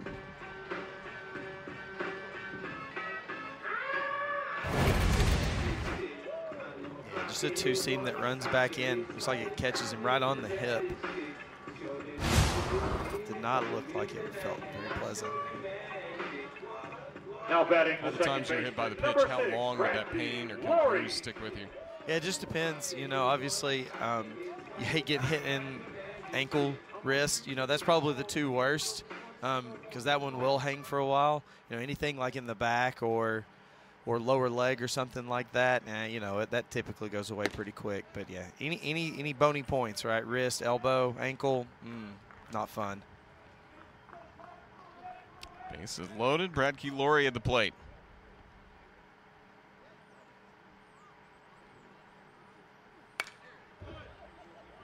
Ball and a strike to Laurie. Popped up to second. He took over for Christian Moore at second base. Played previously the College of Central Florida last year, Wabash Valley College before that.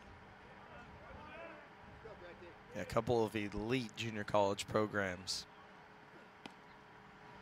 You see those two names in the Junior College World Series, along with Walters State on a regular basis.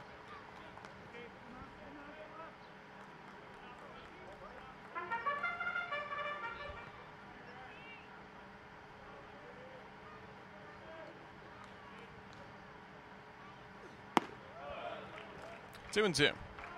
Had good pacing to the game this so far today. Closing in on three and a half hours with a rain delay, rain delay mixed, mixed, in. in. we appreciate you guys sticking with us, though, man. It's been fun. Screamer up the middle, base hit for Laurie. Tennessee will add to its lead. A two-run single for Brad Keith Laurie. 22 to 1, Tennessee.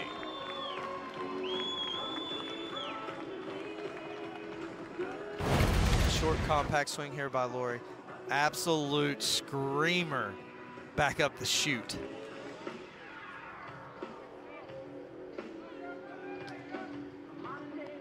Now batting the catcher. That makes 14, ten, that is Charlie Tennessee's Taylor. 18th hit on the day.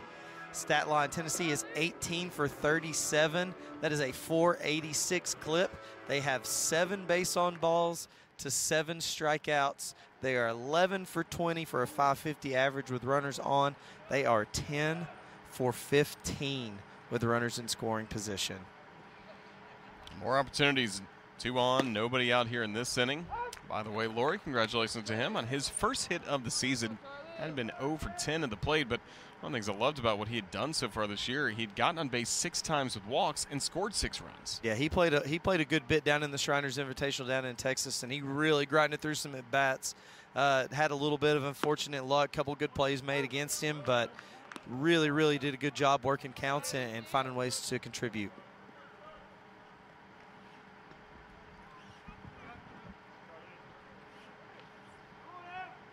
Charlie Taylor pop out to short first time up. Reserve catchers on this Tennessee roster working on his MBA, a teaching assistant. Went on a trip to South America before his semester started with the MBA program. It's been spotlighted by the University of Tennessee for It Takes a Volunteer campaign. All edited together by VFL Films alum Isaac Fowler. See him earlier today here in the press box at Lindsey Nelson Stadium. Strikeout for the first out in this bottom of the seventh Now inning. Already five runs across the plate. Camden Bates.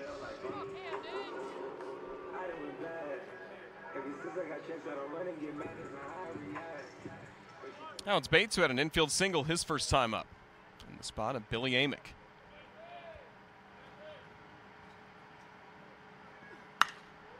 Smashes that deep down the right field line. Smith giving chase. Goes into a slide. what a play. And makes the grab. Both runners will advance, but excellent work by Smith down the right field line. Smith covered a ton of ground. Looked like a ball that was going to shift out of out of play. Now batting I the mean, center fielder, number nine, incredible sliding catch. Tip of the cap to Christian Smith.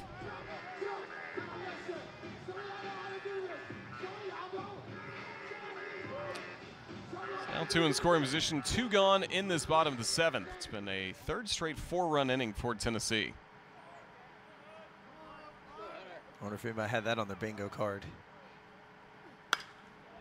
Line foul by Ensley. So this is the most runs that Tennessee has scored in a game. Obviously, the run rule cuts down on some opportunities for some of these scores, but the run rule not in effect for this game. The other one in the 20s was the win over Albany, 21 to 6, back on February 24th.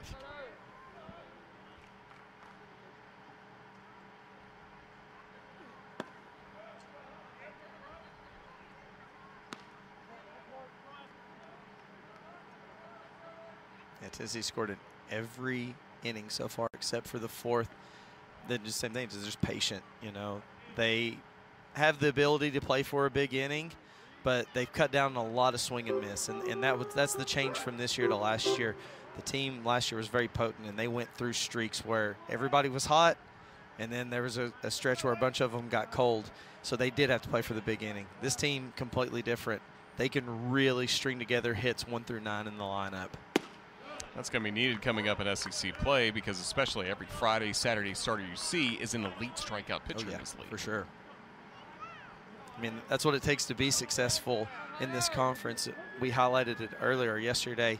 I think the league average was 313 across the, the conference. That's for everybody. Like every team in the conference is 313 average, and the ERA was under three. It's like a 266 or 267.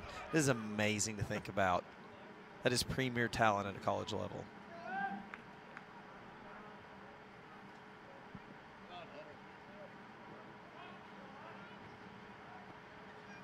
Two and two on Ensley. And that hit him. Base is now loaded again for the Vols.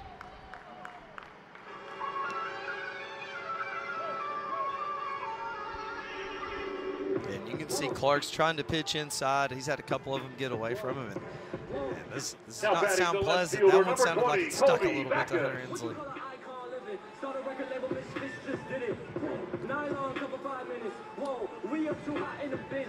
Clark having to deal with the bases loaded, two gone.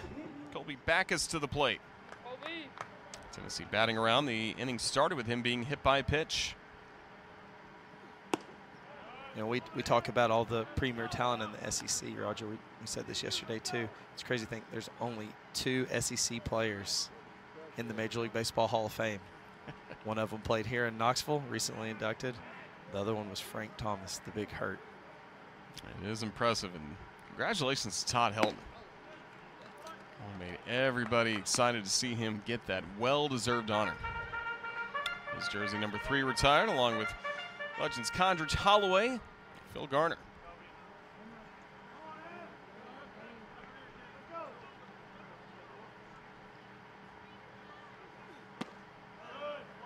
Inside half, strike one and two on Backus. You can bet coming up. Hall of Fame speech for Todd Helton. He's going to talk a lot about his home of Knoxville, Central High, and then at University of Tennessee.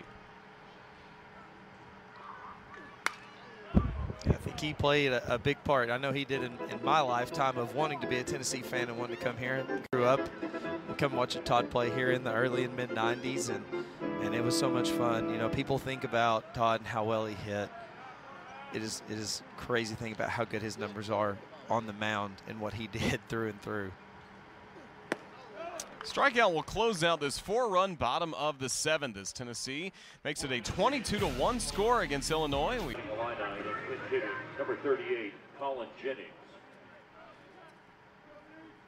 Underway in the eighth inning.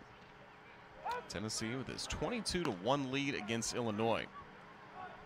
Pinch hitter to the plate for the Fighting Illini, Colin Jennings.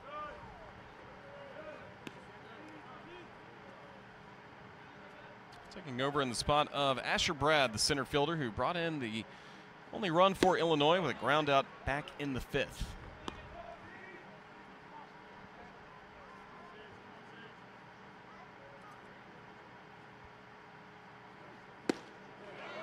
Strikeout starts the time for Sharp on the mound. That's another K for Queso. Sharp looks good so far. Fastball's been ranging up 87, 89. Here is that curveball that we were talking about. I think that was more of the slider that was 82, 83. Really quality pitch. Calheza, the starting shortstop for Illinois. Over for three in this game with a pair of strikeouts in his time at the plate.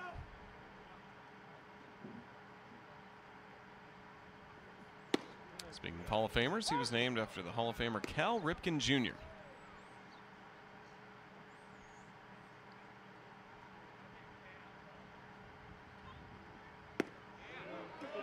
Sharp right back in the strike zone. There's the curve.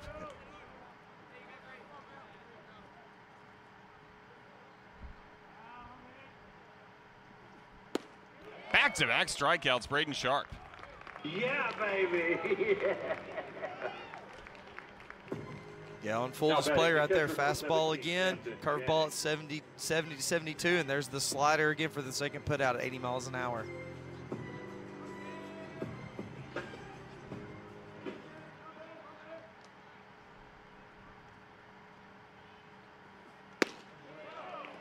Camden Janik, who started this game out in left field, moved behind the plates. Third hit on the order for the Illini. Quickly down to his last strike at 0 2.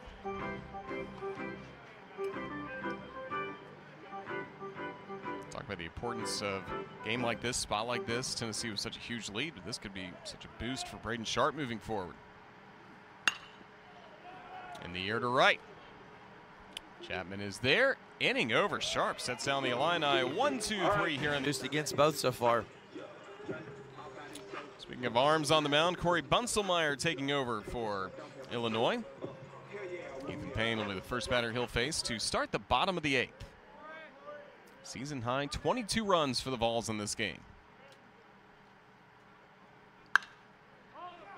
Crack down the left field line. And it'll just fall in for a foul ball. It is a tricky wind that the teams have been dealing with. Uh, no, certainly last night, but today has been wind has been a factor as well coming in from right field. Yeah, last night it was it was chaos early on. It, wind was just blowing crazy. It was tough to make a routine catch in a fly ball. You always see some squirrely stuff happen down this left field line. I don't know if it's because you got the football complex right there and it creates a wind tunnel, but there's those everything kind of gets pushed back into play and around. You'll see left fielders overrun stuff all the time. So a long, loud strike one for Ethan Payne. Yeah, Roger, I think we're about to have a little bit of fun. We saw Coach Vitello talk to a first base umpire just a little bit ago. Looks like we have Braden Sharp on deck.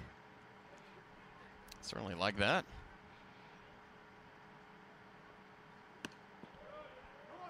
Because you have the DH spot due up next. Changes all over the place for Tennessee. Bargo had been along with Chapman, really the only two that have stayed in the lineup.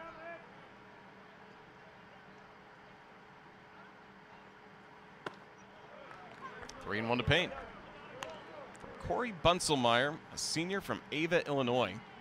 Previously attended Rend Lake Community College before making his way to Champaign.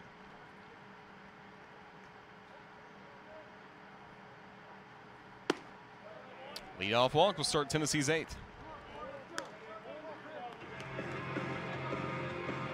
Yeah, just look at some of the scouting reports on Bunselmeyer. Fastball is going to play around 88 to 90. He's got a slider and a changeup. A couple of things to highlight. He did have 17 walks in 25 innings. He also hit 10 batters during that frame as well.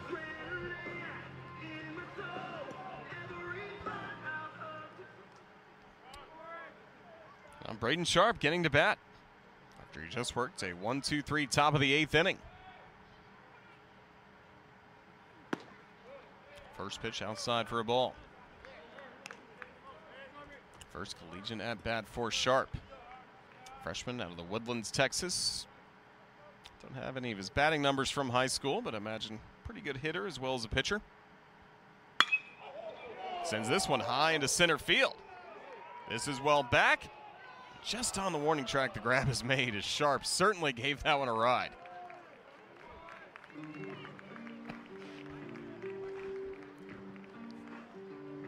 Oh, another 10 feet, and I think this Tennessee dugout would have exploded. Sharp, a pitcher, hit a home run in a very rare event. He might get to take the daddy cap, fur coat home with him. He could wear it to class coming up all next week.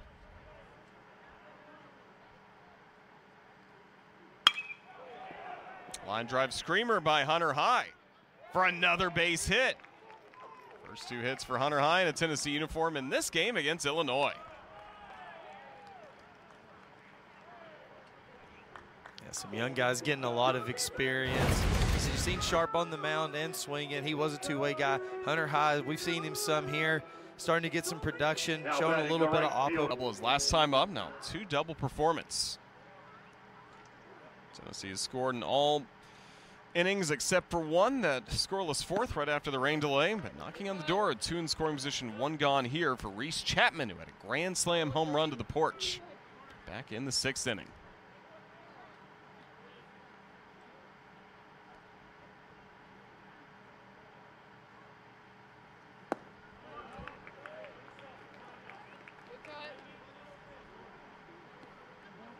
Chapman a double, a grand slam homer, also a walk, hit by pitch already in this game.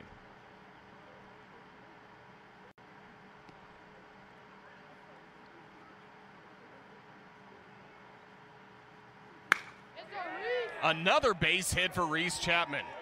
Three hit performance as this goes all the way to the wall, brings in two more runs. Reese Chapman has picked up three hits, driven in six runs today for the Vols. He's been very impressive. We've seen a couple of these very similar swings right here. Pull side down the line, hit very hard. He showed some oppo pop yesterday. This is something the Tennessee staff has been wanting to see from him. Again, he has major pop. If he could just get a little bit more consistency, I think we'll find him. He'll find his way in the lineup. Start of the year just one for 11, but today's changed everything with a six RBI performance and three hits, all for extra bases. Brad Keylori. Two run single for his first hit of the year. Back in the seventh.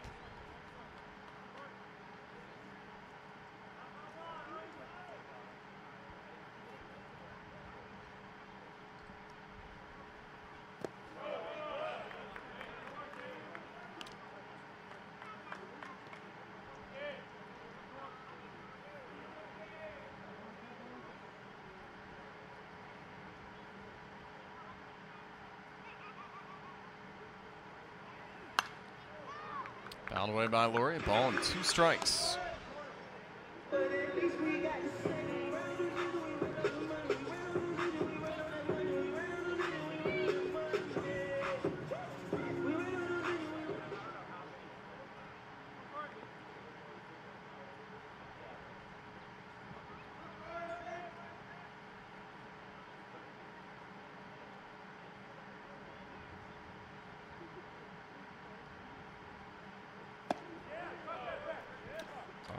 Batters. That one just buzzed the tower. Two and two.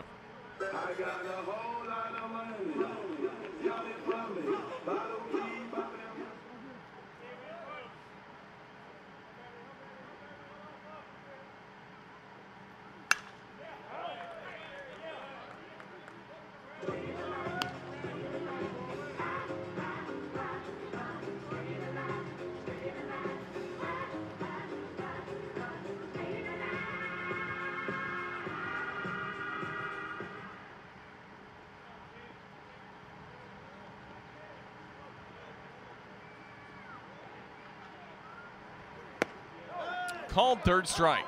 Bunselmeyer gets out number two. Bunselmeyer, 88 mile an hour fastball on the, the way down. Number 14, That's what you're going to see from him. Taylor. He pitches at a 60% ground ball rate, so you know that you're going to get some sink on this fastball. Same thing, had a little bit of run off the plate. Trying to limit the damage. Two runs here in the eighth inning. Now Charlie Taylor. Smacks it high down the first base line. Justin to the front row.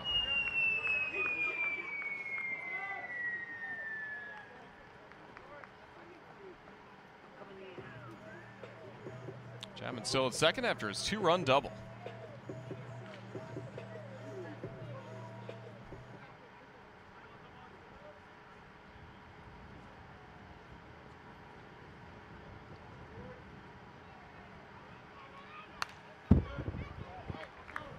Bunselmeyer in front, 0-2. Last chance for Tennessee to add to its total of season high 24 runs in this game against Illinois.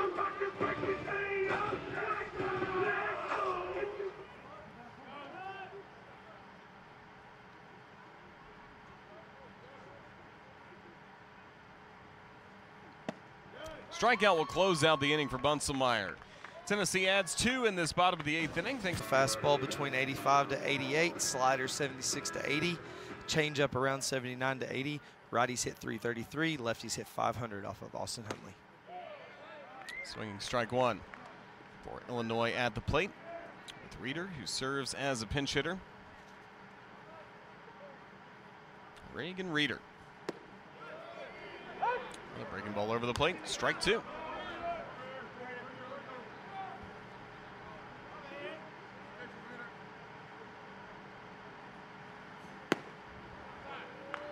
To wait for about 40, 45 minutes through a rain delay from the top of the fourth inning to the bottom of the fourth. Tennessee with really consistent offense throughout this ball game. So fastball runs inside. So again, really everything went to plan if you're Tennessee. Five homers in this ball game, and then Drew Beam certainly looked sharp with five innings, only allowing a run, and that was after a long rain delay. Yeah, like I said, in line to collect that win, which will move him into the top 10 overall. Looks good so far. I think, you know, Causey's going to be your definite Friday guy. You know what? You're going to get a beam on Saturday. You're going to figure out this Sunday thing before you get into SEC play.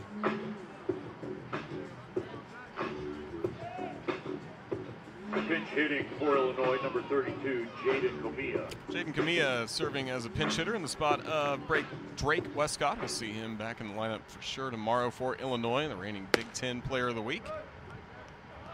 Illini again, a, a tough game in a lot of ways because hopefully pour some length from your starter, Logan, Logan Tabling. He labored through his time on the mound, an inning in two thirds in really tough, rainy conditions. And then he had to really work the bullpen after that. Yeah, I mean, this is one of those games that's got away from them in general. You know, it's tough to, you get in here and some of your bullpen guys have trouble throwing strikes and kind of lose a little bit of focus here at some at bats. And it's just one of those things where you're not happy with the outcome, but you flush it and you go back and, and, you, and you, try to make do with tomorrow and, and find a way to squeak out a win.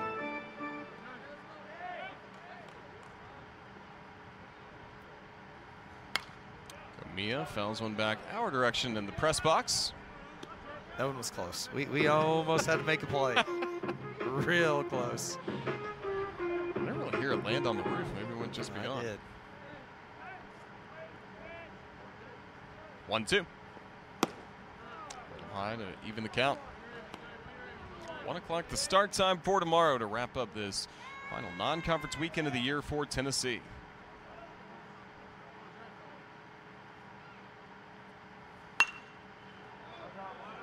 For Illinois. Big Ten play does not start next weekend. Coming up next weekend, it'll be Southern Indiana at home, but in two weeks, it'll be Illinois at Indiana to start its run in the Big Ten. Southern Indiana, that's who had Tennessee, or Tennessee had here during the midweek. Called third strike. Curveball lower outside corner, back-to-back -back strikeouts. Payne on the mound. Now batting the designated hitter number 14, Gavin Bennett. Hunley on that. Yeah, Southern Indiana gave Tennessee all they wanted in the midweek. That was that 2-1 contest. Tennessee beat Kansas State the night before 15 to 5, and then Southern Indiana really shut the doors on them. Since then, a 6-3 win against Illinois. Now this one 24 to 1 here in the ninth. Off Hunley's foot, ricocheting to first base. Payne is there, and this ball game is over. Everything, everything okay Tennessee for Austin Hundley. Everything was a-okay for the Tennessee Volunteers in this ball game, picking up a 24 to one victory over Illinois.